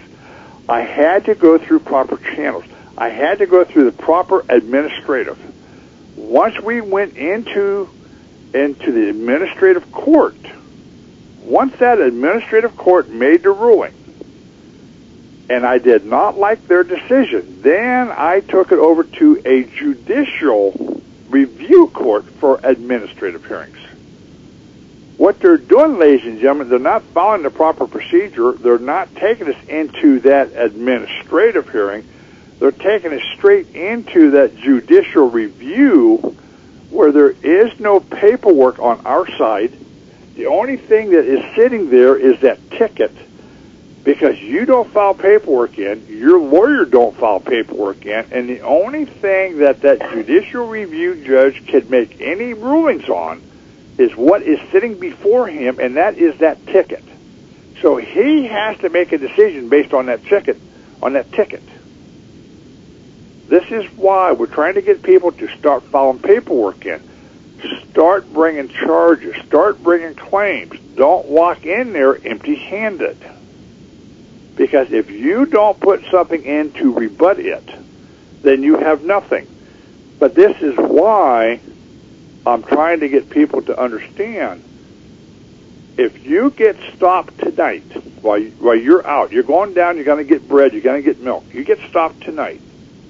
The moment you get home, your paperwork for an administrative court gets started tonight. You're going to file one for an administrative court to bring an administrative claim against an agency.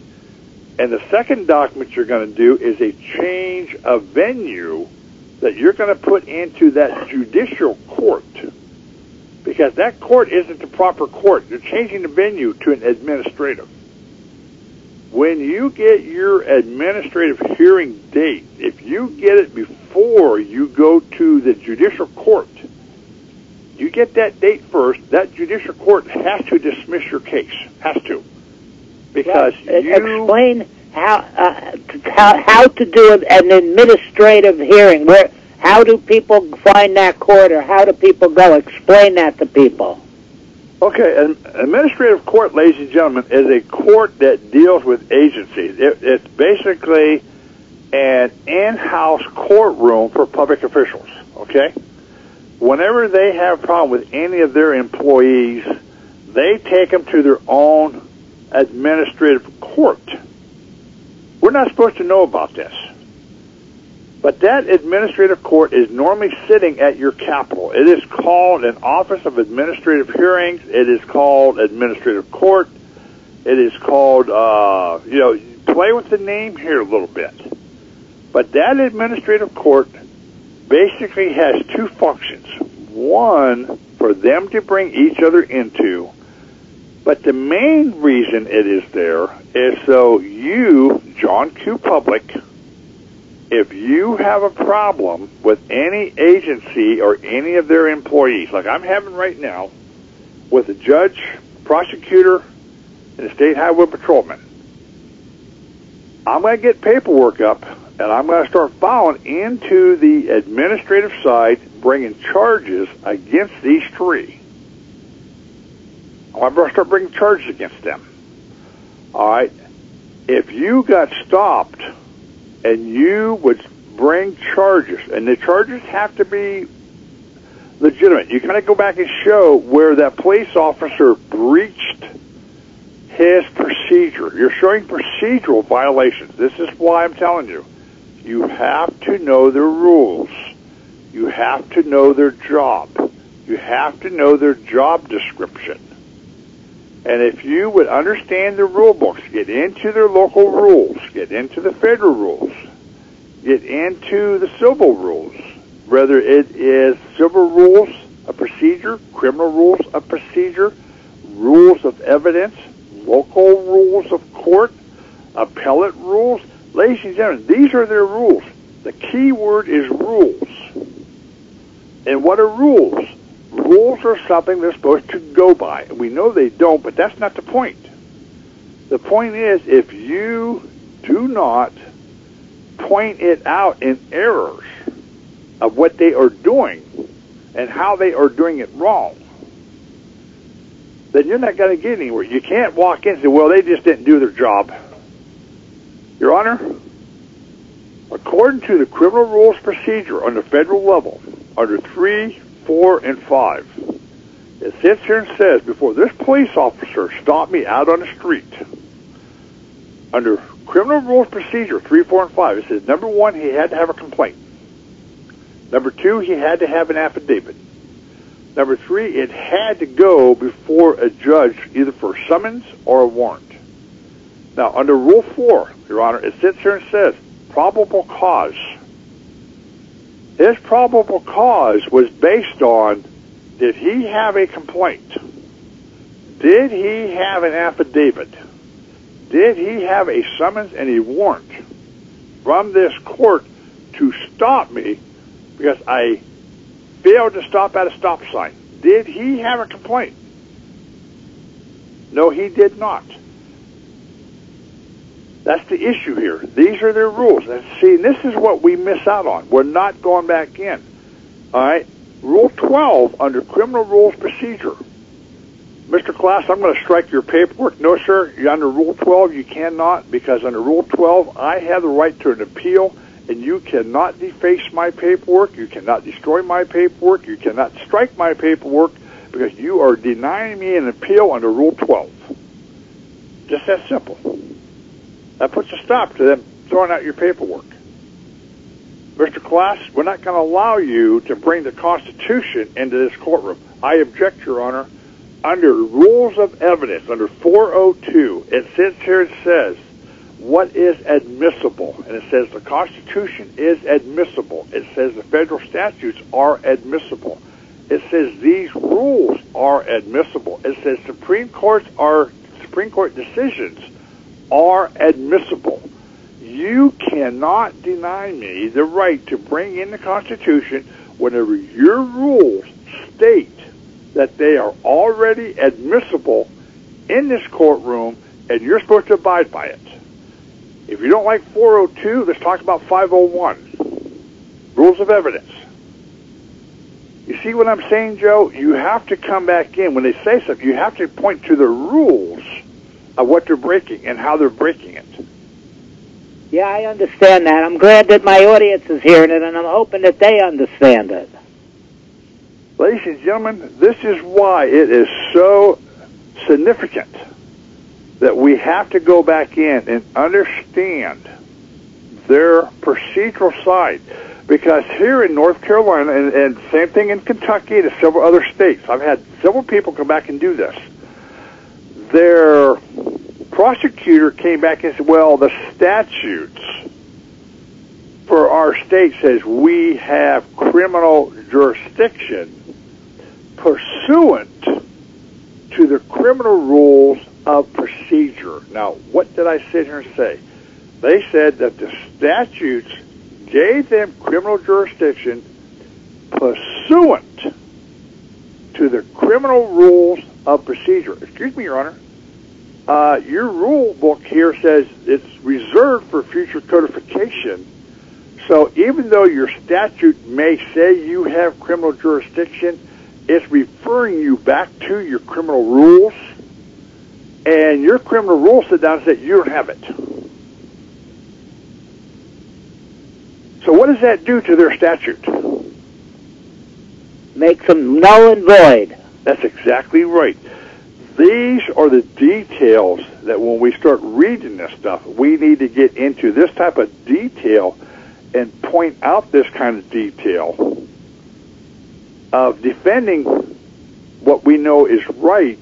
Because when you're pointing out, you're no longer defending yourself, you are now pointing out and you're making them defend theirself to something they cannot defend against because it's their black ink on white paper, it's their rules, their regulations, and they cannot go against it. And ladies and gentlemen, that is the biggest secret of walking into these courtrooms. It isn't walking in saying I'm a man on the land.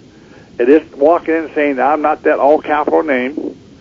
It is walking in and right off the bat show the errors that's being created in that courtroom. Are they going to like it? No, they are not. They're going to get real upset with you, okay? They're going to get real upset.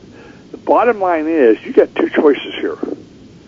Either you can sit down and be sheep and be sheared, or you can start shearing them and take some of the hide off of them on what we're doing until we start using. I got two books.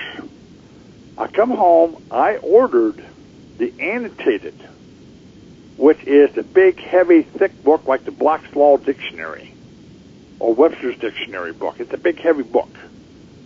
Well, I went into court, and I, the judge called me up about the paperwork. I says, now, what set of books do you want to talk about? Do you want to talk about these that I just got from the Judiciary Committee over over the Senate and House side for the criminal rules and rules of evidence? These two little thin paperback books? Or do you want to talk about this great big heavy annotated which has all the case laws and has all the sightings of how the rules were created? Which one of these books do you want to talk about? And she looked at me and she pointed to the little books. I says, good. I want this big heavy book with all the rules and, and the history behind it. I want to put in as evidence. She said, well, we know the rules. I says, no, you don't, because if you knew the rules, you would dismiss this case. Because what we've already done, I've showed you rule violation. Now I'm going to put the rules in. She shut the hearing down because I put the rule book in. Ladies and gentlemen, this is the means of handling these court systems. Is it is it rougher? Yes. But if you take the time and you go after this, it's the same thing with IRS, because you can get into their their codes and their statutes and the statutes at large, and you can get into the National Industrial Recovery Act, and it gets into there and it shows you how the IRS was created and for the function of all these public jobs. All these public jobs under that Industrial Recovery Act that they were creating were the people who had to pay the taxes because these were government jobs. It did not, did not, and was not intended for John Q. Public because we were not accepting government pay from the Treasury. They were. This is why this is another important knowledge thing that if we go back and understand we could go back and show, wait a minute, Your Honor, uh, why am I being charged taxes? Because here is the statutes at large under 1935, under the National Industrial Recovery Act. It gets in and lays out the IRS. It says it's only supposed to tax government jobs and anybody that is working under the government as private contractors or contractors, they are the ones who are required to pay taxes. Now, why am I working at McDonald's, IBM, GE, or working here at the at the radio station as an employee? Why am I paying taxes on something that is not a federal, state, municipality job. Why am I paying taxes? Ladies and gentlemen, the information is in the statutes at large of what we're talking about. These are where your arguments come in. Does it take time? Yes, it does. But if you, again, you want your freedom, your freedom is based on how much effort are you willing to put into it. What is your freedom worth? What are you willing to do to keep your freedom? Is it more important to sit back and watch uh, football, so soap opera, and have a good time, or doing some studying here in the evenings? Even if you put in 15, 20 minutes, you're fading, Rod. day, just going back in. But the thing is, once you start getting into this, and once you start understanding, it's like the Federal Reserve Act under Title 12 and under Title 31, which is money and finances. If you get into the statutes at large, don't read the USC code book, read the statutes at large, because what this gets into, what it explains, is that the Treasury Department, United States Treasury, they're using the collateral of the United States. All right, you are the collateral. They're using the collateral of the United States to go to the Federal Reserve, and this is what it says in the statutes at large. They go to the Federal Reserve to borrow credit. They're not borrowing money. They're not borrowing gold. They're not borrowing silver or platinum. It says they are borrowing credit. They're borrowing credit. When you go to the from the Treasury down to the comptroller currency, which is the one who finances the banking systems across the country, that comptroller currency gives credit to the banking system because they got credit off of the Treasury Department, which they got off of the Federal Reserve. Up to this point, there's still no money. It's credit. When you, John Q. Plummet, go into the banking system and you borrow, you're not borrowing money because they were never given money. They were given credit. And it says when you sign your name on that bill or that note, that note now becomes the collateral not the house, not the car, and not the dog. That note became the collateral for whatever you borrowed. And that's what it says in the Federal Reserve side of the thing under statutes at large. But, but they don't put this in the United States Code because they don't want that information out. That's why you have to research the United States Code. Now, if research the statutes at large.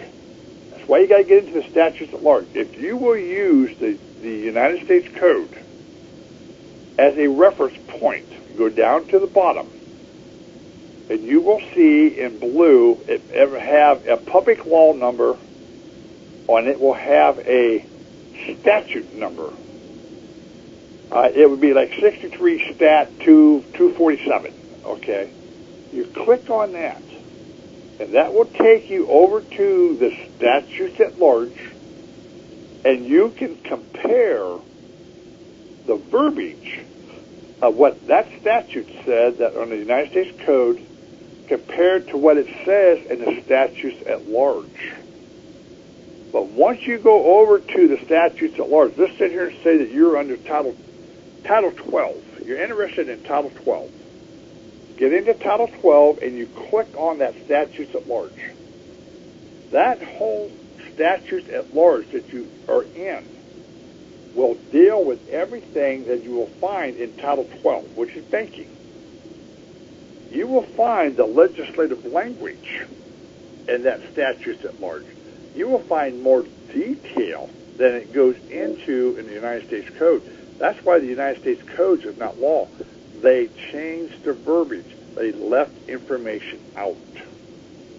And that's the same thing with Title 31. That's money and finances. Get into Title 31, United States Code. Go down to the bottom. Hit that statutes at large, and it will take you over to that whole section. You got to talk louder, Rod. Beg pardon? Talk Rod, you're you're coming through very Okay. weakly. Yes. If you will go into Title 31, which is money and finances in the United States Code, if you will click on that statute at large, that number, that 60 stat, whatever number is down there for stat, it will take you over to the complete set of what that Title 31 is all about. It's like 200 some pages. You could go through this thing and you can prove every single mortgage fraud, you can prove the IRS fraud, you can prove credit card fraud, because you're going back in and you're showing, and you can subpoena the Treasury Department in, into any court case, and you can point blank ask them, what are you using? Are you using money or are you using credit? And you can bring out the congressional records as here. It sits here and says that you are borrowing credit. So is this not what this country is operating under? He's going to have to say yes. So is there any way, if we're borrowing credit, that we can pay our bills on our home and on our cars and all this? Is Any way to pay it? He's going to have to tell you no because there's no money. It's all credit.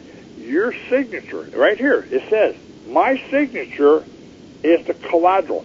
Does this mean when I bought my home, bought my apartment, bought my car, the moment I signed that note, I signed that agreement, that this stuff was paid for automatically, because this is what it sits here and says, my signature is the collateral, you realize what, if people would start going back in and understanding the statutes at large on everything that we're dealing with and really do the research, you realize what we could do to the system?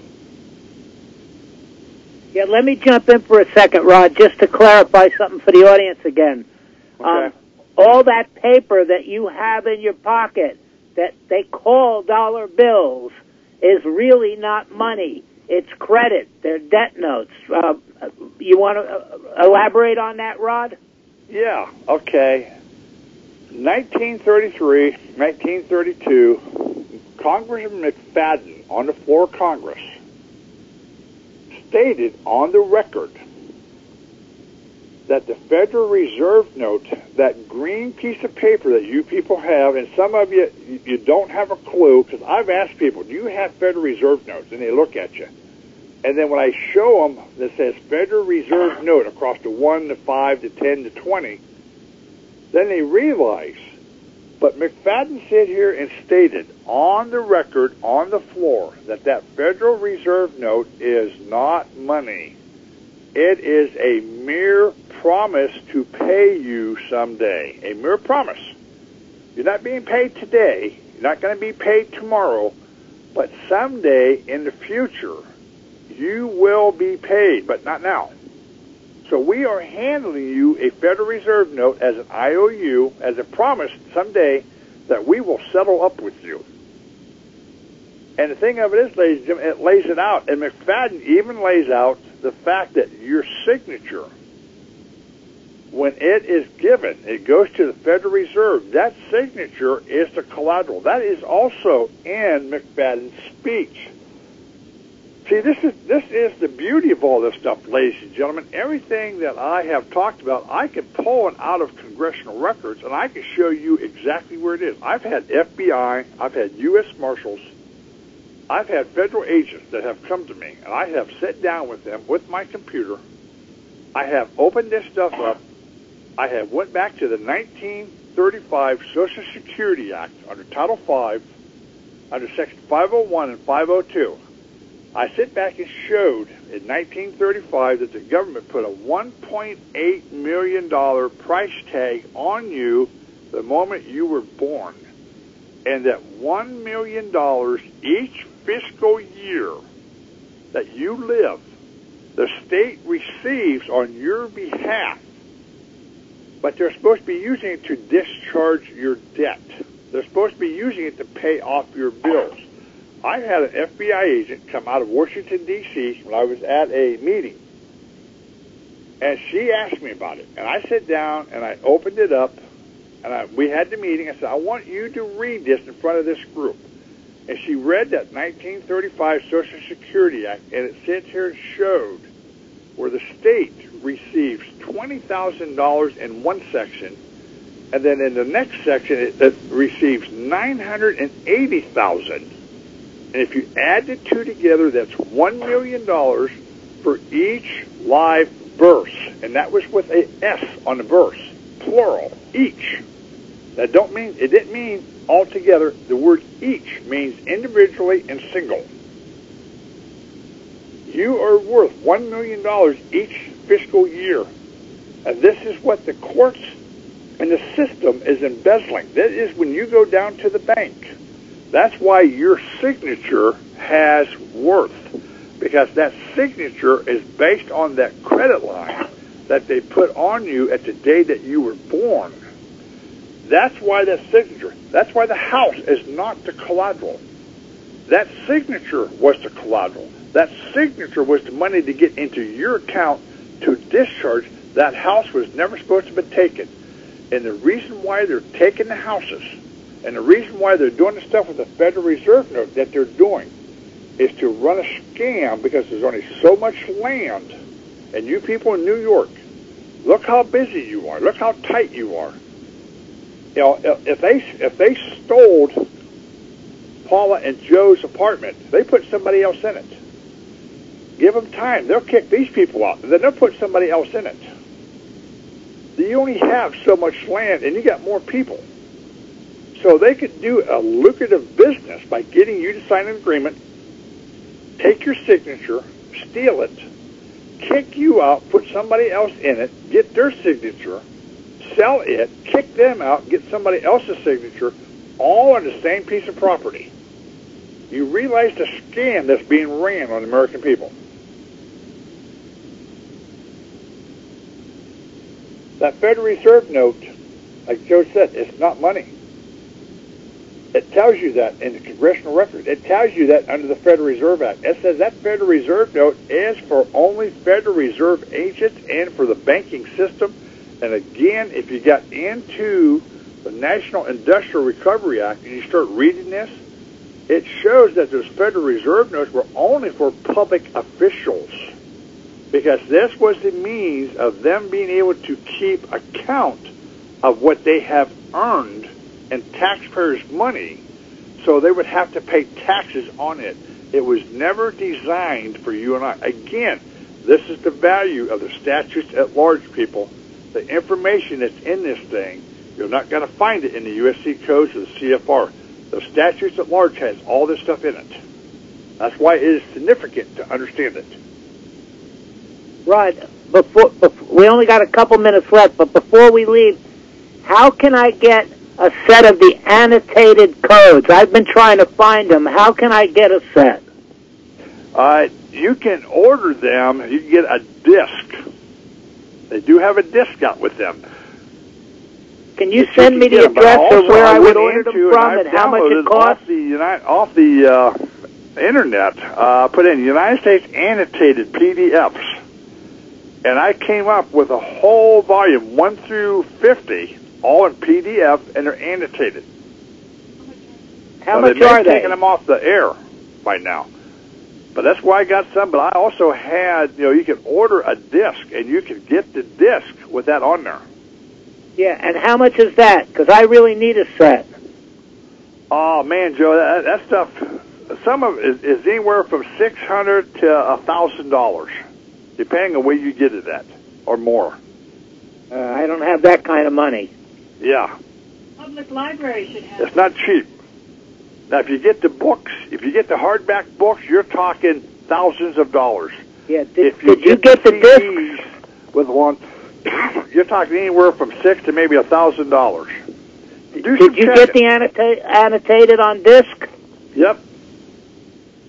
Could you send me a copy, or if you send them to me, I'll make a copy and send them back to you? I have. I what I did is I got them on a thumb drive. I'll have to send them down to you. Yeah, if you would, boy, I would love it. Thank you. I, I really need them.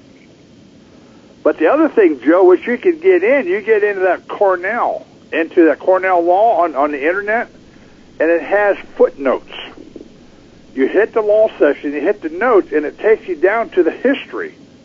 And then you have all the stuff for the for the, the statutes at large. All you got to do is go click on all that. That's how I've been finding so much of my stuff. It's right there in front of us. Is it Cornell Law School under library? Yeah, look under punch in United States United States Code annotated, and it will come up like Cornell Law. Okay, everybody, if I can just take a quick break right here and say that we are going to lose the TV station at this time. So if you want to continue uh, hearing the conversation, tune your FM radio to 104.1 on your FM dial. That's Woodstock 104. So good night to Public Access TV, Channel 23, and now it's time for the carousel. It is the witching hour of midnight in Woodstock at WIOF LP, Woodstock 104. It is Pot Talk with Joe Barton and Paula Gloria and Rod Class. Back to you. Okay, Rod. We, Yeah, if- we were just saying good night to the. We go out on television and radio, so we just lost the television station, but the radio we can keep going if you want to. Well, I can go for a little bit. I've been going all day, Joe, and Sharon. She she's at a place that she needs help here, and I have been going all day, so I can't stay on here too long. Okay, well, we could say good night because Paula wanted to. Paula has some stuff that she wants to read, Raja, Raja. and some Okay, stuff but- from Raja that she wants to read. So we could say good night, and I'll be in touch with you sometime during the week. Okay, but the, the final thing, if you will get into get into your internet on the United States annotated, all right, you'll get into Cornell law. Pull it up, and you'll have the the code, and you have notes, and you have what may be CFR. You can click on the notes or the CFR, which will give you more information. The notes will give you the public laws of when this stuff was created, how it was created. And if you click on one of the statutes or one of the public laws, it will actually take you into the statutes at large and it will show you how that thing is supposed to be worded, if it's worded the same, the history of it. Rod, I've pulled it up right now, and what I get is U.S. Code Table of Contents, and it's got it arranged in titles. Title One, General Provisions. Title Okay, Two, the Congress. Get into one of the codes. Get into one of the codes. Any one of them? Punch, punch, How punch about in bank, title. How about punch, Title 12, punch in title five. Banking? Okay. And it goes in the different chapter. Uh, U.S. Code Title 12, Banks and Banking.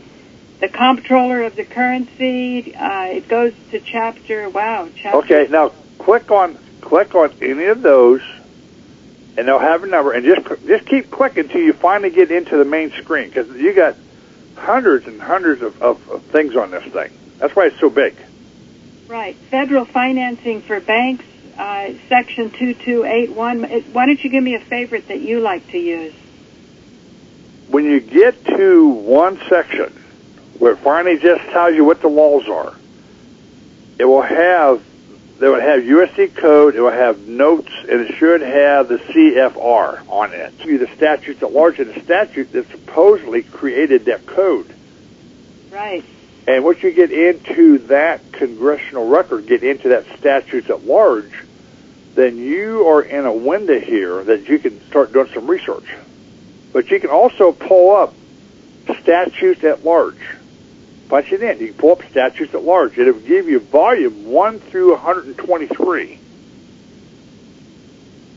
Put that in one section. When you go over to the United States Code and you punch in the statute, you look at the top.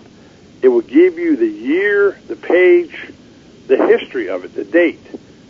So the moment you get a year, 1955, Uh-huh. you go over to the statutes at large, get into 1955, open it up, and look at what that page number is that you you went through the USC code to get.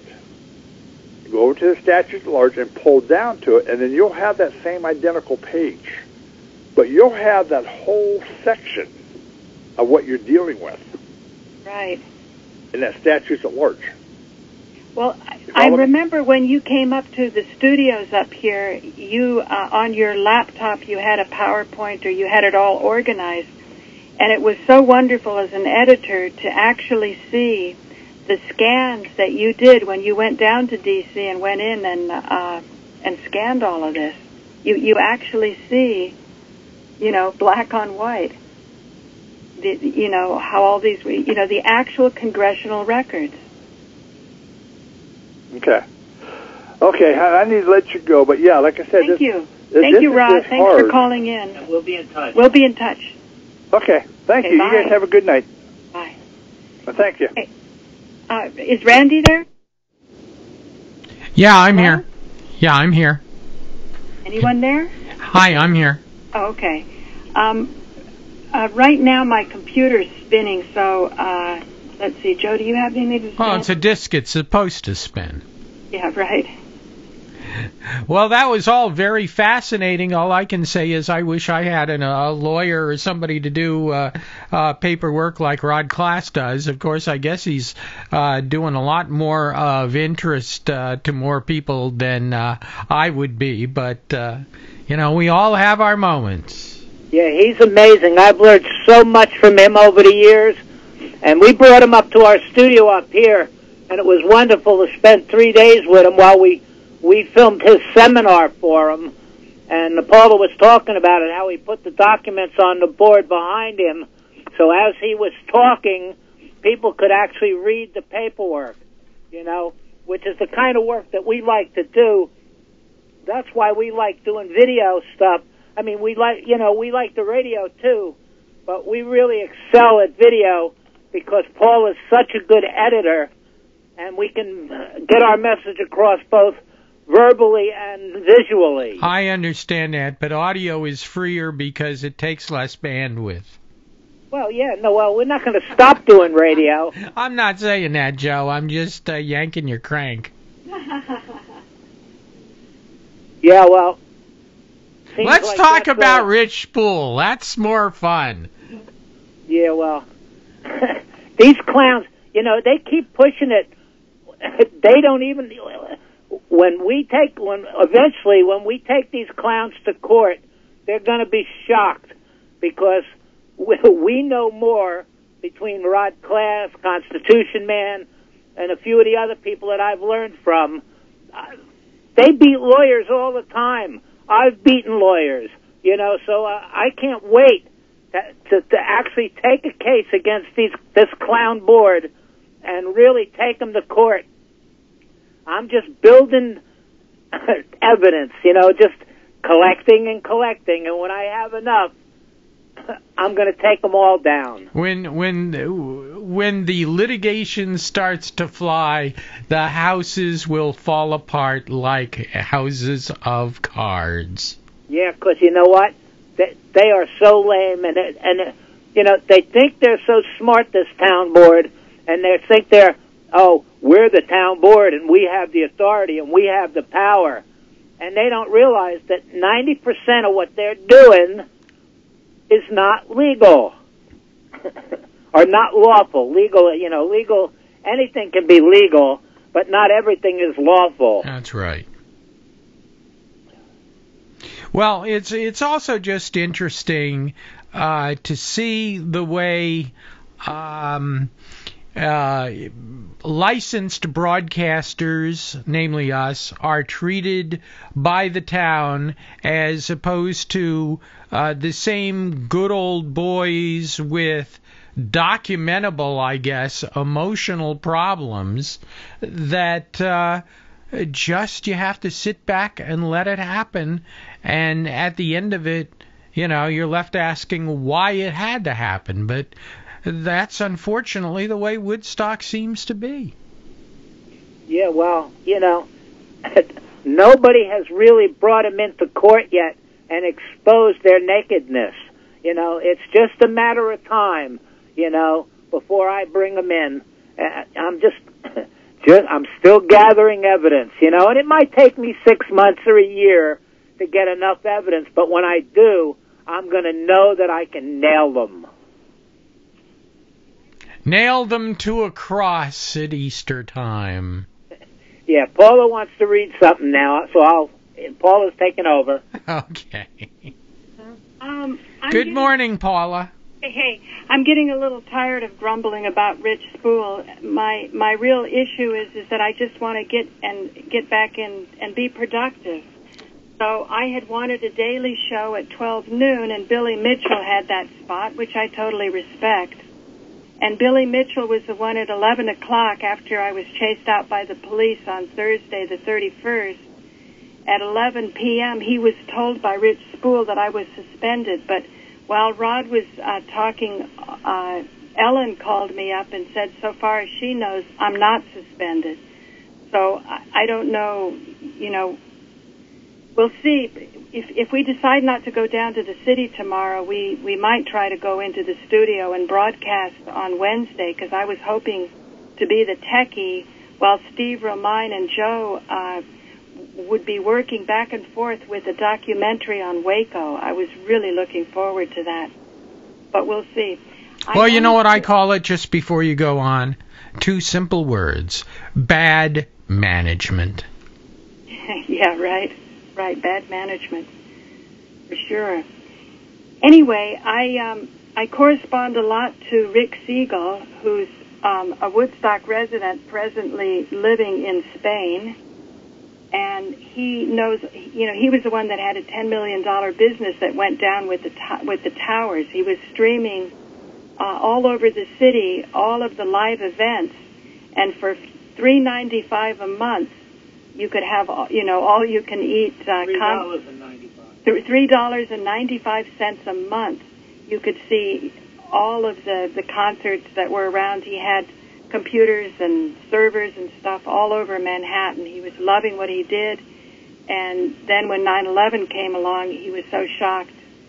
He developed post-traumatic stress over it, and eventually his original footage was used in 9/11 Mysteries, but they put soundtracks in it, which which totally uh, devastated him. He won in court, but uh, it's still floating around. Anyway, I, I ask him things, and he goes, because I was explaining the simulcasting and the problems with containment on the internet.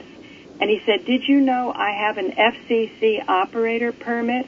I am authorized to operate any radio station that needs, requires an FCC operator, and I am a radio telephone operator registered since 1995 with the FCC.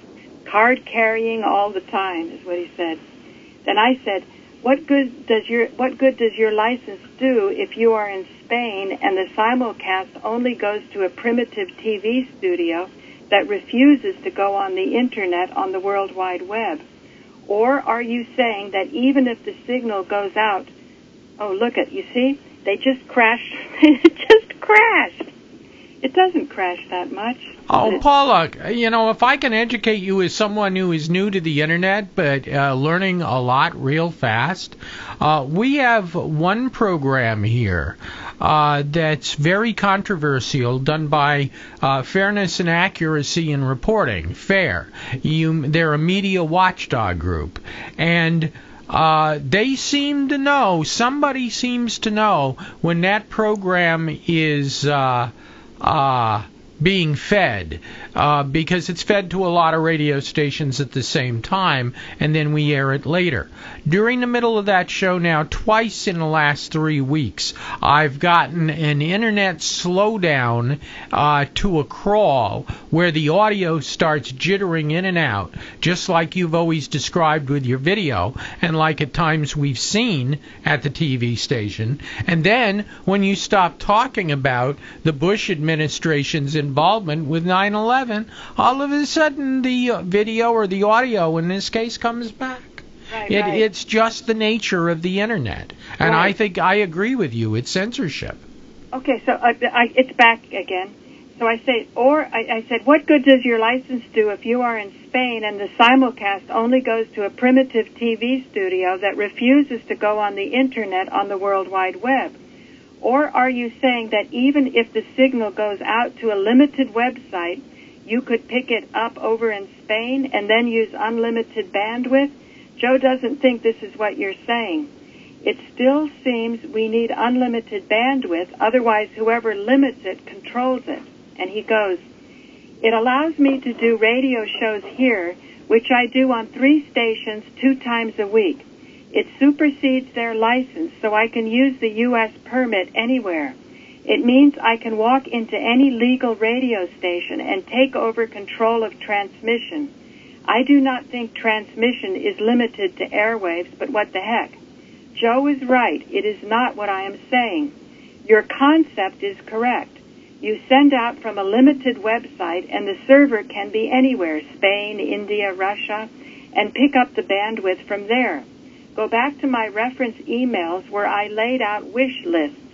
There are two important ones you should print out, paste over your monitor, and read daily. you need to focus, bandwidth, whatever it takes. If forcing apologies from people gets you bandwidth, bandwidth, go, for it. If it does not, what value does it bring to getting that bandwidth? Bandwidth in caps. Can we read the franchise agreement? Like the rules that city boards should work under. Franchise agreements lay out terms for both sides. Let's read what the terms are and think about it from there. Focus. If it is not helping the goal, it is useless energy spent.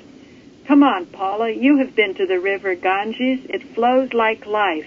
It does not stop for things that are not part of the goal. It flows around obstacles. It does not fret. It does not wait. It flows. Be the river again, Paula. so that's Rick Siegel in Spain. Paula, uh, Yes. do you remember the movie The Graduate? Yes, I do. You remember the scene where the guy was going around uh, the drunken party, uh, telling everyone, t- uh, telling uh, um, what's his name there, to uh, remember one word: plastics. and uh, in the digital world, in the e world, it's not plastics; it's bandwidth. It is absolutely, and I agree with him 100%, including his description of the way uh, bandwidth should be picked up on the internet for distribution of your signal. You start off with a limited bandwidth. Hopefully, many of the providers or some of the providers are claiming that you can get 100 uh, uh, megabits um, per second, um, both up and down, equal. Uh, Verizon is claiming that uh, for FiOS. If you can get something like that at your address, then you have enough bandwidth to stream either audio or video to a remote server where then it's distributed. That's the way it has to be. But you do need that initial bandwidth that some marginal cable and a lot of DSL just can't provide.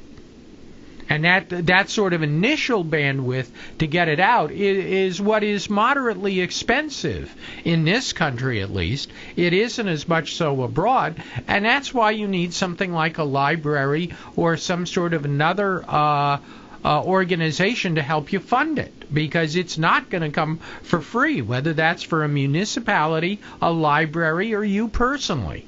Well, I I believe that public access has to be free. And you have to have the potential for a certain community of producers to have access to uh, their message going viral. Now, this is not to say that they couldn't also have a commercial message on another station, but then even that station should never grow so big that its commercial power will now suppress any kind of hope that a little man can get his word out.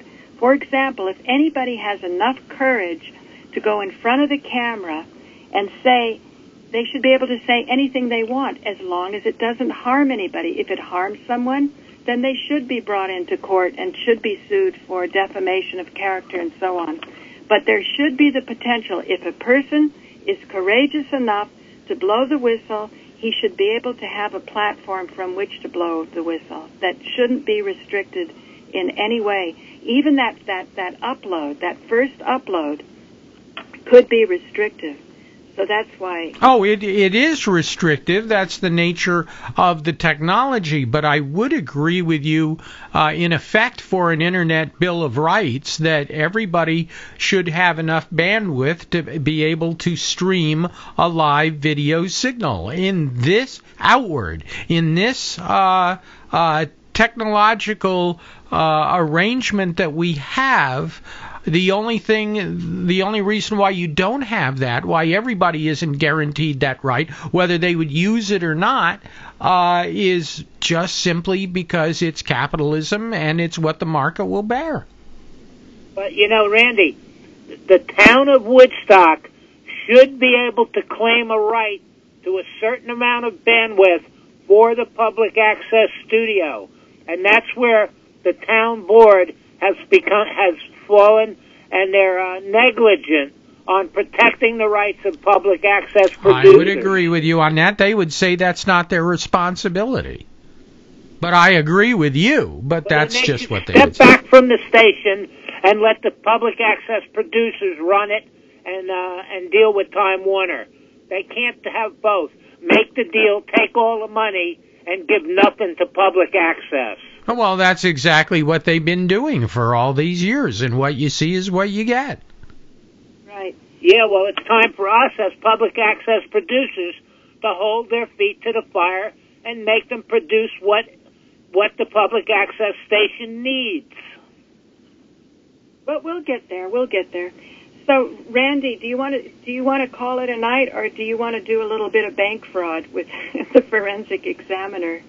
Yeah, can you do about 10 minutes so we can make it a nice, even uh, hour and a half show?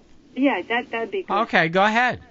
Okay, the, you remember the movie The Big Short? I don't know if you got to. Oh see yeah, we we got to see that. That's out on video now.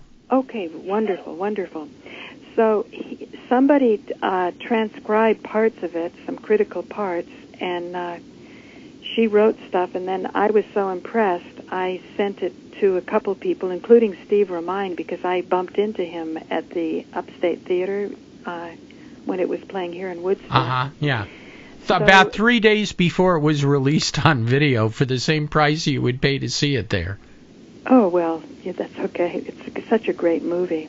Oh yeah. Um, I, I it was so nice to see it with a group of people. You know, I love watching things in theaters. That's kind of going the way of the dodo. But anyway, I also sent to the forensic examiner that I'm hoping that we could get him to come up to Woodstock and we can do the same type of shoot that. Remember when Rod was talking about how you look up these statutes at large and stuff? I was hoping to do the same kind of thing where we bring him into a high def studio so we can look at the paperwork while he's talking about it. So he put in addition to her uh, transcription, he goes, Here is my small addition. The Big Short movie recently released, the phrase used is, quote, fraud always goes south, end quote, meaning that at the end of the day, everyone knows everything. The banks and maybe even the trustees now terminated after AIG bailout may argue that they treated the money as though it was a trust asset and that they should be treated as qualifying REMIC trusts, R-E-M-I-C, it has to do with real estate trusts, even though the trust had nothing in it. Alleged trustees terminated to produce the tax return of the REMIC trust in whose name, quote, collection, end quote, or enforcement, quote, end quote, is sought. The REMIC tax return is likely to produce some fireworks that end up in settlements. 26 CFR uh, 1.860F-4 REMIC reporting requirements and other administrative rules. Homeowner would expand the request to include the financial statements of the REMIC trusts and the names of the parties who created them. The Big Short to show the proliferation of scams that enabled the government and the banks to make it appear that there was government intervention. Like securitization servicing and trustee of fake trusts, it was and remains a complete illusion.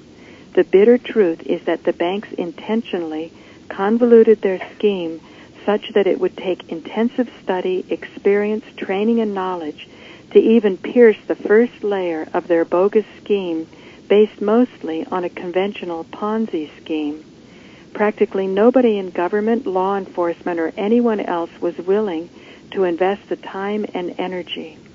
The Big Short details how a handful of hedge fund managers employed by these banks predicted the implosion of garbage loaded collateral debt obligations and profited from the crash.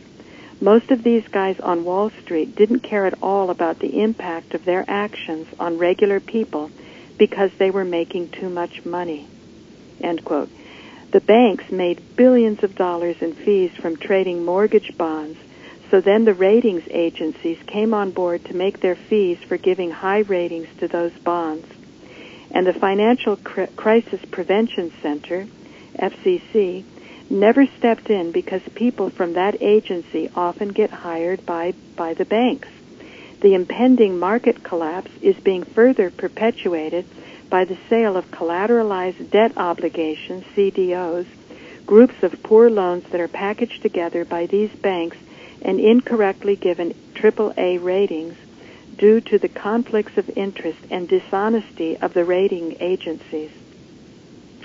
The practice of these banks denoting a financial arrangement or transaction that has been invented for fraudulent purposes, but that does not really exist, it is not uncommon for magical endorsements and phantom assignments to mysteriously appear out of the ether when banks start practicing their voodoo Photoshop dance that raises fake instruments from the dead.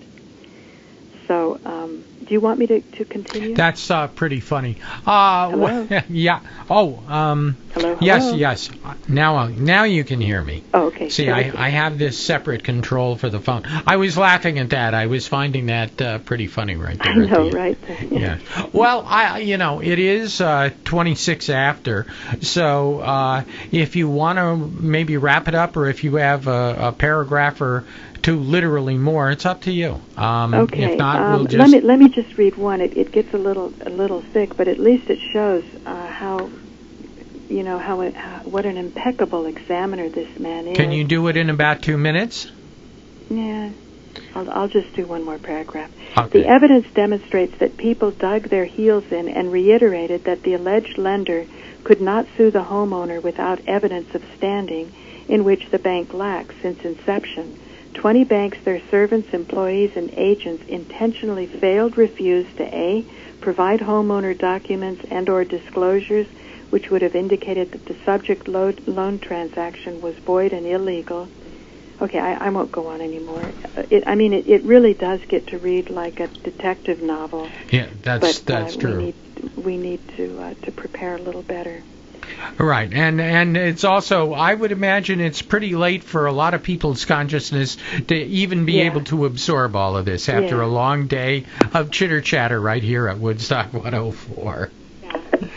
So Well- you guys well, thank get you so much, uh, Randy, for being there with with this wonderful radio station. I, I'm learning more about FCC licenses for uh, for radio stations and how they even work abroad. You know, and and how impressive they truly are, and how uh, minuscule people that uh, insist on having domain over sad little TV studios can actually be. Yeah, right, right. But I tell you, you know, when the cops came, they understood what a white signal means. You know, when you have a blank signal going out, it's alarming. That's why I still have to figure out if that show of Dee Dee Halleck actually went out that day, or if I was being misled because it's just too weird. I mean, how could I do my work and there was no automatic programming? So I was being vigilant, protecting the franchise. Well, yes, you were, and we tried to be, and look at what we got for it. We got uh, just uh, thrown into the lion's den. Yeah, I So- know. All well, right. maybe that will change soon. Well, we have your theme up, so we'll do this, and if you giggle, uh, giggle in the background. What can I say? Um, so that's it for Pot Talk with Pot Talk with Joe Barton. Also, starring Paula Gloria.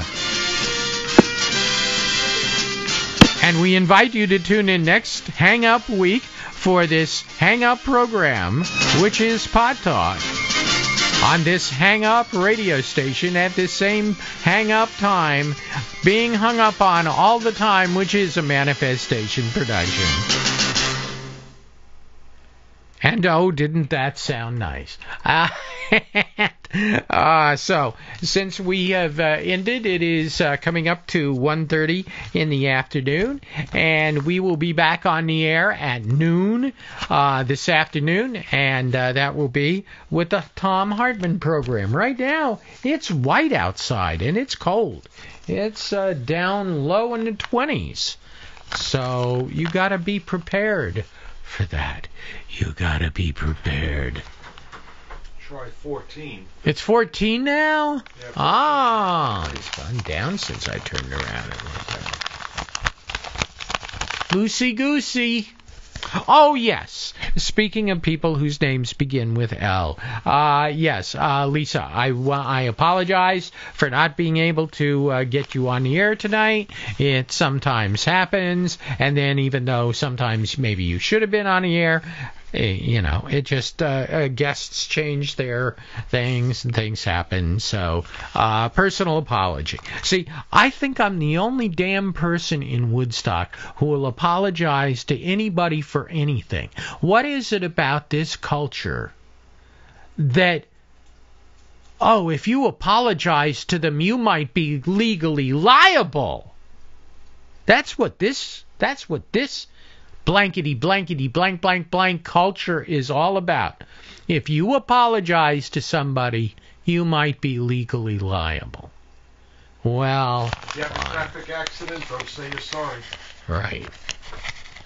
We're not talking about a traffic accident. We're talking about something more like a train wreck of the town board. At this time, WIOFLP Woodstock 104 attempts to end this broadcast day. Woodstock 104 occasionally operates on 104.1 megahertz and oftentimes uses a process of frequently frequency modulated, circularly polarized multiplex stereo for your superior listening, envy, angst, suing, or getting back uh, by uh, just uh, procrastinating pleasure. WIOFLP Woodstock 104 is licensed believe it or not, to Boys of a Feather Media Limited by the Ready Steady Go Federal Communications Commission, a division of the digitally demanding totalitarian abomination. Boys of a Feather Media is also licensed by the Secretary of State of the State of New York to do business as Woodstock 104 for purposes of low power FM broadcasting at Woodstock, New York. And we don't run away and not tell our lawyers where we are. Our snail mail postal mailing address is Woodstock 104, P.O. Box 104, Woodstock, New York 12498. Hey, I hope you're out there listening. Sometimes I probably say. Uh, we also take your charitable contributions at that address, uh, which is made out to birds of a feather, and the address is Woodstock 104. That's right, Woodstock 104. Still, P.O. Box 104, Woodstock, New York 12498. The studio telephone number is area code 845 679 9104. 14 degrees! Oh my god! There's only one thing to do. Huddle cuddle, snuggle, and love. Good night from WIOF LP Woodstock 104.